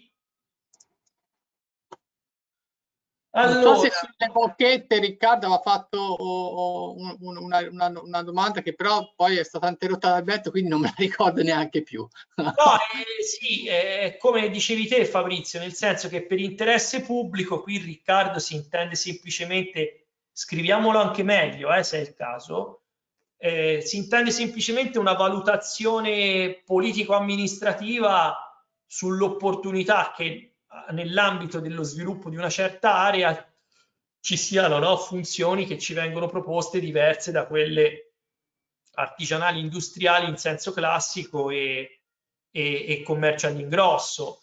E Fabrizio ha fatto bene a fare riferimento a queste a questa nuova industria no? digitale, ma insomma di vario tipo, che a volte non si inquadra neanche bene nelle, nelle categorie tradizionali. Cioè, tu, per esempio, c'è tutta, c'è tutta l'industria legata alla comunicazione, no? eh, che, che, che, spesso eh, producono beni e servizi senza le caratteristiche del, del, dell'azienda classica, no? Cioè, magari sono più simili a un ufficio che a che, ha un'azienda come noi siamo immaginati, come noi ce le immaginiamo tradizionalmente.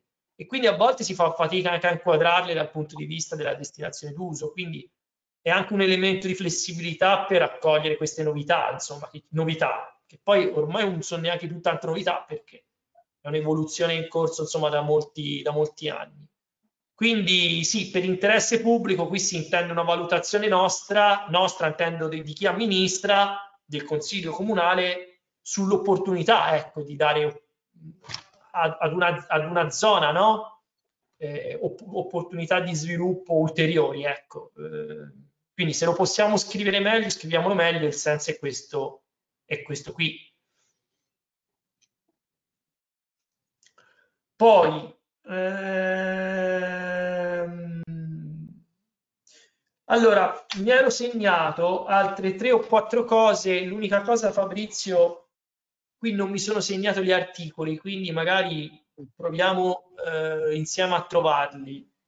Eh, allora, abbiamo introdotto eh, una disciplina di valorizzazione, però io onestamente non mi sono segnato dove, mia, negli appunti, insomma, ho commesso un errore de, della rete dei percorsi storici, cioè noi abbiamo individuato nel, nel, nel patrimonio territoriale, nella carta del patrimonio territoriale, tutta una serie di percorsi storici.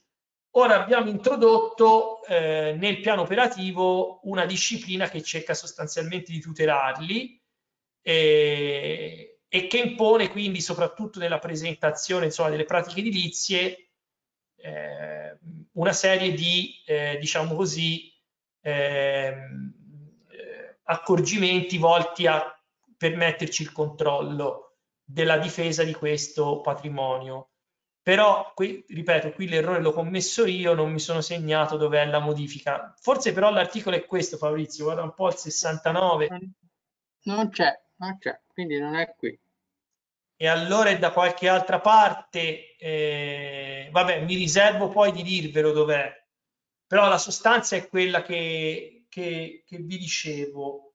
Ehm, poi eh, un'altra eh, novità, un'altra novità, più che una novità, è una, diciamo così, eh, un rafforzamento di cose che ci eravamo già detti, è che noi, eh, ne, e questo credo Fabrizio stia mh, nella parte delle opere pubbliche, nella parte eh, dove c'è una destinazione di attrezzature pubbliche o di interesse generale, penso stia lì, però non ne sono sicuro, eh, ehm, riguarda ehm, diciamo così, l'utilizzo delle tecniche di ingegneria naturalistica e ambientale nella realizzazione delle opere. Cioè noi diciamo, quando si interviene no, in ambiti delicati eh, con, opere, insomma, di, di, di, con opere pubbliche, si deve assolutamente fare ricorso laddove non ci sia diciamo, un'impossibilità tecnica alle tecniche di ingegneria naturalistica e ambientale. Però anche qui non mi sono segnato dove l'abbiamo dove l'abbiamo inserito. Ora magari poi attraverso la ricerca eh, si, si, si, fa anche velocemente a trovarli questi articoli. Intanto ve le, ve le illustro. Eh, poi, ecco, altre due novità di, di rilievo, e sono, mi sembra, almeno per quello che ho visto io, le ultime due, sono queste, e queste forse Fabrizio le trovi più facilmente. Allora, ehm, il tema è questo. Nelle schede norma come vi abbiamo detto, eh, spesso sono disciplinati interventi anche sul patrimonio edilizio esistente, quelli diciamo più grossi, dove, uno, dove ci sono operazioni di rigenerazione urbana più importanti. Ecco, qui il, il punto è se un cittadino non fa l'intervento previsto dalla scheda norma, ma vuole intervenire semplicemente sul patrimonio edilizio che ha, diciamo, in termini di conservazione, anche di rifunzionalizzazione, ma senza sostanzialmente demolire e ricostruire. Cosa può fare? Punto interrogativo. Allora, la norma in sede di adozione diceva può fare fino alla manutenzione ordinaria. Quindi, ehm, no, forse diceva anche fino alla manutenzione straordinaria. Eh? Straordinaria. Straordinaria, diciamo, la norma in sede di adozione diceva puoi fare la manutenzione, anche straordinaria, ma puoi fare solo la manutenzione. Quindi sono un sono proprietario di volumi che fanno parte di una scheda norma dove quindi è prevista un'operazione di demolizione e di costruzione e di cessione al comune di opere pubbliche. Se non faccio quello mi limito alla manutenzione, anche straordinaria, ma mi limita alla manutenzione. Ci siamo domandati sulla base di alcune osservazioni se non fosse il caso di dare qualche opportunità in più a chi non vuole attuare una scheda norma.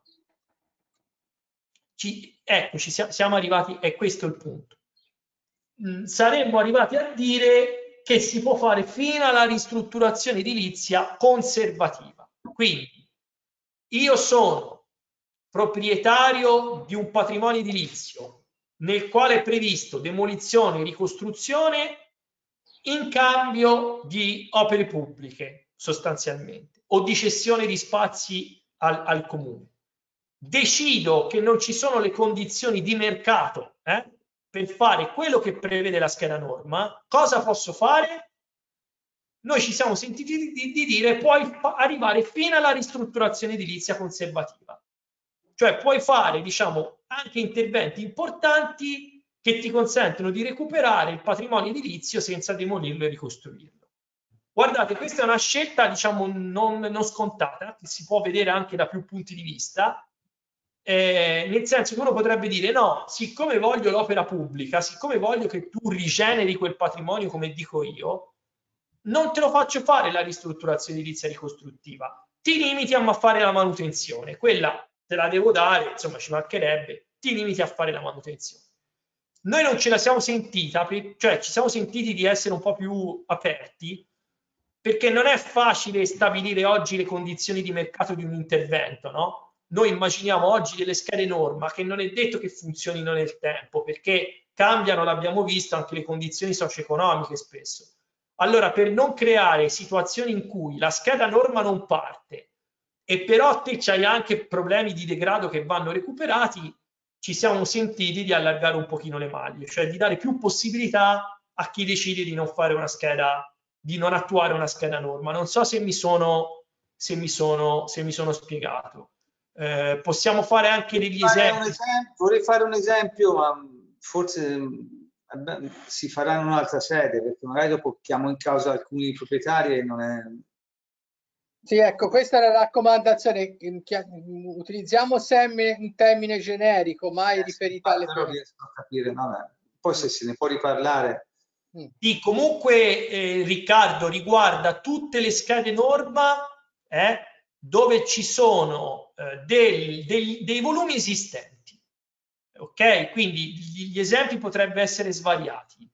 Eh, tutte le volte in cui io ho una scheda norma che mette in gioco dei volumi esistenti, diciamo, ho due possibilità.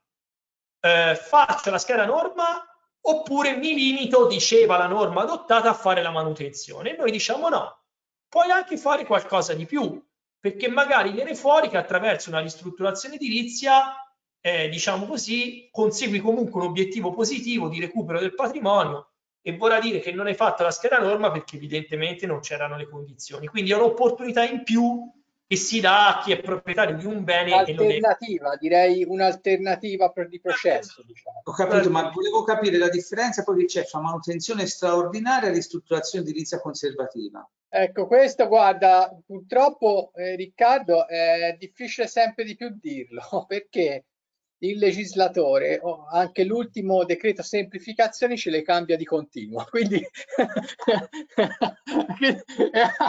io stesso eh, ho, ho, cioè, ricordiamo di continuo. Diciamo, in generale lo, lo evoca, lo, lo evoca il termine, diciamo, per ristrutturazione edilizia si fa qualche intervento leggermente in più rispetto a manutenzione straordinaria, ma devo dire che più si va avanti con i decreti di semplificazione, più la differenza sta diventando minimale, quasi impercettibile, perché stanno introducendo una manutenzione straordinaria con quantità di fattispecie particolari che sostanzialmente tendono quasi a riconfigurarla come una ristrutturazione edilizia. Però davvero ti assicuro che è difficile stargli dietro perché non c'è decreto semplificazione in cui non, ci, non ricambiano la definizione del 380.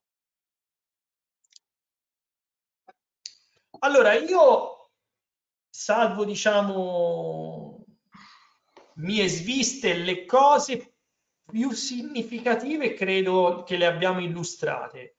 Ora poi via via il testo è stato come dicevo anche eh, modificato per, per farlo funzionare meglio però rispetto a concetti che avevamo già diciamo discusso ecco.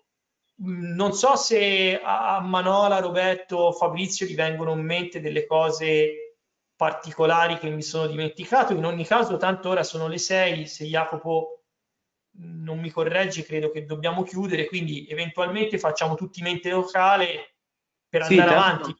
I commissari hanno il materiale che, eh, con cui anche oggi è stato possibile seguire la commissione. Chiedevo semmai al, all'ufficio se per le prossime sedute, che riguardano anche altre tematiche, la documentazione è disponibile e pronta. Ecco. Ci stiamo lavorando, non so se per il lunedì prossimo eh, saremo nelle condizioni già di darla, ma, perché c'è eh, un lavoro ma fisico. scusate, ma, non si, ma le osservazioni? Questo è stato, Questo è, è stata un'illustrazione generale, poi noi abbiamo tutte le ma poi ne discuteremo osservazioni delle osservazioni. normative. Sì, sì, no, ma scusate, eh, infatti c'è un fraintendimento. Questa è l'illustrazione, no? Dopodiché le osservazioni eh, vanno, vanno discusse. Io l'unica cosa che suggerirei, non so se Jacopo è d'accordo, è facciamo una discussione, eh, diciamo così, che sia mh, per temi, non per numero di osservazioni, perché si fa male la discussione per numero di osservazioni. Cioè, voi avete tutto il materiale a disposizione, no? Avete un'illustrazione di massima, eh, di massima, avete un'illustrazione delle cose più importanti. Guardatevele e, deci- e decidiamo, decidete cosa vogliamo discutere, no? Eh, perché mh, ci sono, che ne so, alcune osservazioni sono tutte uguali, faccio per dire, sono tutte sullo stesso tema, quindi eh, tra l'altro voi trovate in questo testo che è stato mostrato oggi, trovate no, il, il, riferimento alle osservazioni a cui, a cui, si fa riferimento e a volte vedete che delle modifiche fanno riferimento magari a più osservazioni, no? Vedete, ora Fabrizio ne fa vedere una a caso. Eh, 224 modifica introdotta in esito alla controdeduzione dell'osservazione 309 e 472. Cioè poi Riccardo non ci sono problemi, tanto le osservazioni vanno poi votate una a una a livello di parere, quindi non è un problema faccio a livello di discussione, cioè di isolare i temi per poterli discutere in modo organico. Ecco, tutto qui. Isoliamo i temi, però guardiamo ogni singola osservazione, perché io, ragazzi, le voglio vedere le osservazioni, non perché se no viene meno il compito mio. Io vanno analizzate osservazione per E osservazione. allora, se volete, se volete, dalla prossima volta, conclusa questa illustrazione generale, si scorrono le osservazioni quando voi ritenete che, che ci si debba fermare per capire meglio, per discutere, lo si fa, non è un problema. Per me si Anche può perché fare. poi nell'osservazione a volte viene scritto parzialmente accolta, ma magari l'osservazione chiede 2000 cose. È bene capirle bene, no? Le singole osservazioni, specialmente queste qui normative. Comunque ne riparliamo, va bene. Però ecco, dicevo, lo dico anche a Jacopo, le, le modifiche sostanziali introdotte sono queste, no? Quindi, io sono volendo, dalla prossima volta si può anche scorrere le osservazioni e via via che quelle osservazioni richiamano le cose che abbiamo visto oggi, si rinvia a quello che è stato illustrato oggi. laddove invece no, ci sono dei temi che oggi non sono stati illustrati, oppure ci, so, ci possono anche essere osservazioni che sono state respinte e che magari la Commissione vuole discutere, no? Allora ci fermiamo e le discutiamo, non è, non è un problema. Non so come la vedono, come la vedete, insomma, anche l'ufficio. Sì, sì, io, so, io per me va bene. Le modalità sono due, quella canonica e quella che suggeriva Riccardo, cioè si scorrono le osservazioni, se nessuno ha da eccepire si scorre, si va avanti, fino a quella che il singolo consigliere ritiene che debba essere approfondita. Scusa, eh, scusa, ma io voglio dire, scusa, le, cioè l'osservazione si può leggere, si dice non è accolta, accolta, non è accolta, accolta, magari, ma si guardano, una, cioè un'occhiata di guardate ragazzi. Caldo, sì, sì, va bene, se la commissione vuole lavorare così si, si scorre il registro, si legge il registro e via via che c'è la necessità di soffermarsi lo si fa. Eh, nel senso che quando l'osservazione richiama i temi che abbiamo discusso oggi, no, si spiega e, e problemi non ce n'è, salvo che uno non voglia discuterli ovviamente, e, se, e, e, via via che invece nascono esigenze, novità, problemi, se ci si ferma, ci sono Ah, problemi. Scusate, guardate l'elenco che vi si è dato, no? Il primo, la, la numero 6.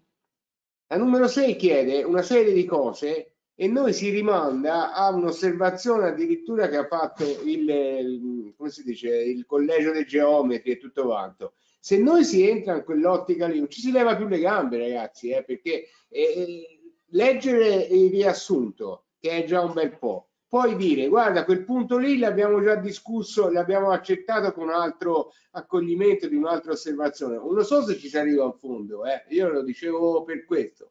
Ho capito, ma allora io come commissario che Eh, non lo so, io eh, ho fatto, cioè, ho No, detto no, no, poi sceglietelo voi come fare. No, si guarda l'osservazione. Io l'osservazione la voglio vedere prima di dare un parere. Eh, quello- su questo non c'è ombra di dubbio. Eh. Su questo No, però non consiglio.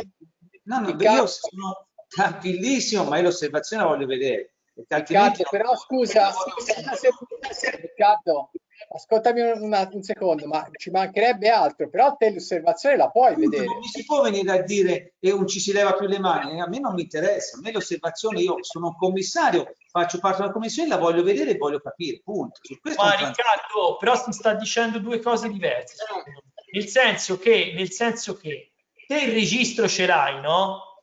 Quindi te attraverso il registro puoi leggere sia la sintesi dell'osservazione sia la risposta, diciamo, a livello istruttorio. Dopodiché, dopodiché te hai diritto a vedere anche l'osservazione per intero, no? Quindi laddove, diciamo, tu voglia approfondire ancora di più, l'ufficio ti deve dare la copia dell'osservazione integrale, no? Quando, diciamo, la sintesi non ti torna o vuoi approfondire. Quindi, secondo me, la, la ragionevole via di mezzo, poi sentiamo anche cosa dice il Presidente, è che noi le scorriamo via via, non è che si tratta che di leggere significa scorrere? Eh, chi vuole capire che significa scorrere? Ti faccio, ti faccio un esempio, ti faccio un esempio. Osservazione numero 8, no? Qui il tema sollevato è, e uno spiega quali sono i temi sollevati, e il parere dell'ufficio è, no?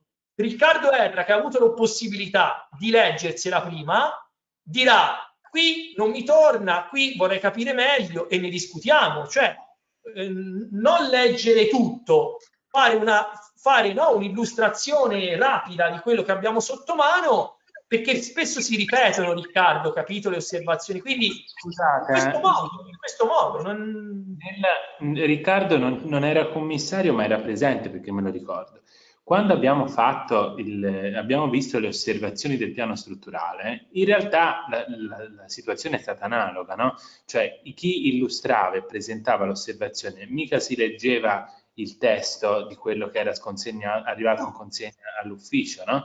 Faceva una sintesi della richiesta che era stata prodotta dal- dall'osservante e di quella che era stata la deduzione dell'ufficio, no? Io dico questo. Io credo che si possa operare in questo modo anche Sì, Process- anche se Jacopo, devi tenere conto che le osservazioni al piano strutturale vertevano in genere sulla Esatto. perimetrazione, territorio. Infatti, spiegavo, la cosa che qui è un po' diversa è chiaro che poi Eh. c'è anche un raccordo fra le osservazioni no? e, fra, e fra i pare- le, le deduzioni che ha, che hanno portato alle modifiche o all'accoglimento parziale o al rigetto delle, delle osservazioni. Quindi non credo che abbia alcun senso leggere l'osservazione tanto per cominciare. Dal punto di vista dell'accoglimento, semmai sarebbe utile se l'ufficio dicesse in che, in che logica si è mosso rispetto alla richiesta e se ci sono delle osservazioni in parallelo, no? Ma, cioè, scusa Jacopo, non lo condivido. Io, ascolta, c'è quella del Collegio dei Geometri della provincia di Lucca, fa un'osservazione lunga, una parte è stata parzialmente accolta, io voglio capire perché alcune cose non sono state accolte, se ne discute, comunque andiamo avanti, poi ognuno... dopo Ah, scusate, scusate, posso, scusate, posso dire una cosa? Eh, secondo me ehm, vedrete che lavorando il problema si risolve da sé, nel senso che, nel senso che è vero Riccardo, ci sono alcune, Riccardo, ci sono alcune osservazioni, hai ragione, ma sono 4 o 5, non di più, che siccome magari l'hanno fatte dei corpi intermedi, sono su vari punti, quelle lì è chiaro che c'è da soffermarsi di più.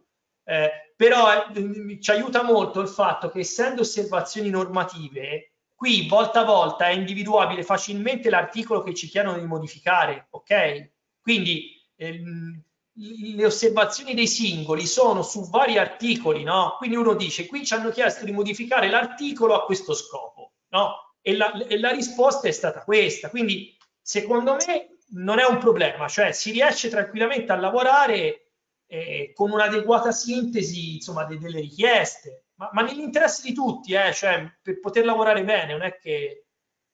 Infatti io non lo dico mica contro nessuno, eh. dico per cercare di lavorare meglio, tra l'altro, un po' meglio io, perché la seduta di oggi ci ha fatto vedere sulle norme quelle che di fatto rispetto alle osservazioni hanno prodotto, prodotto un accoglimento e già una modifica della norma, no? Quindi voglio dire, mi sembra che se si lavora in maniera organizzata, poi alla fine...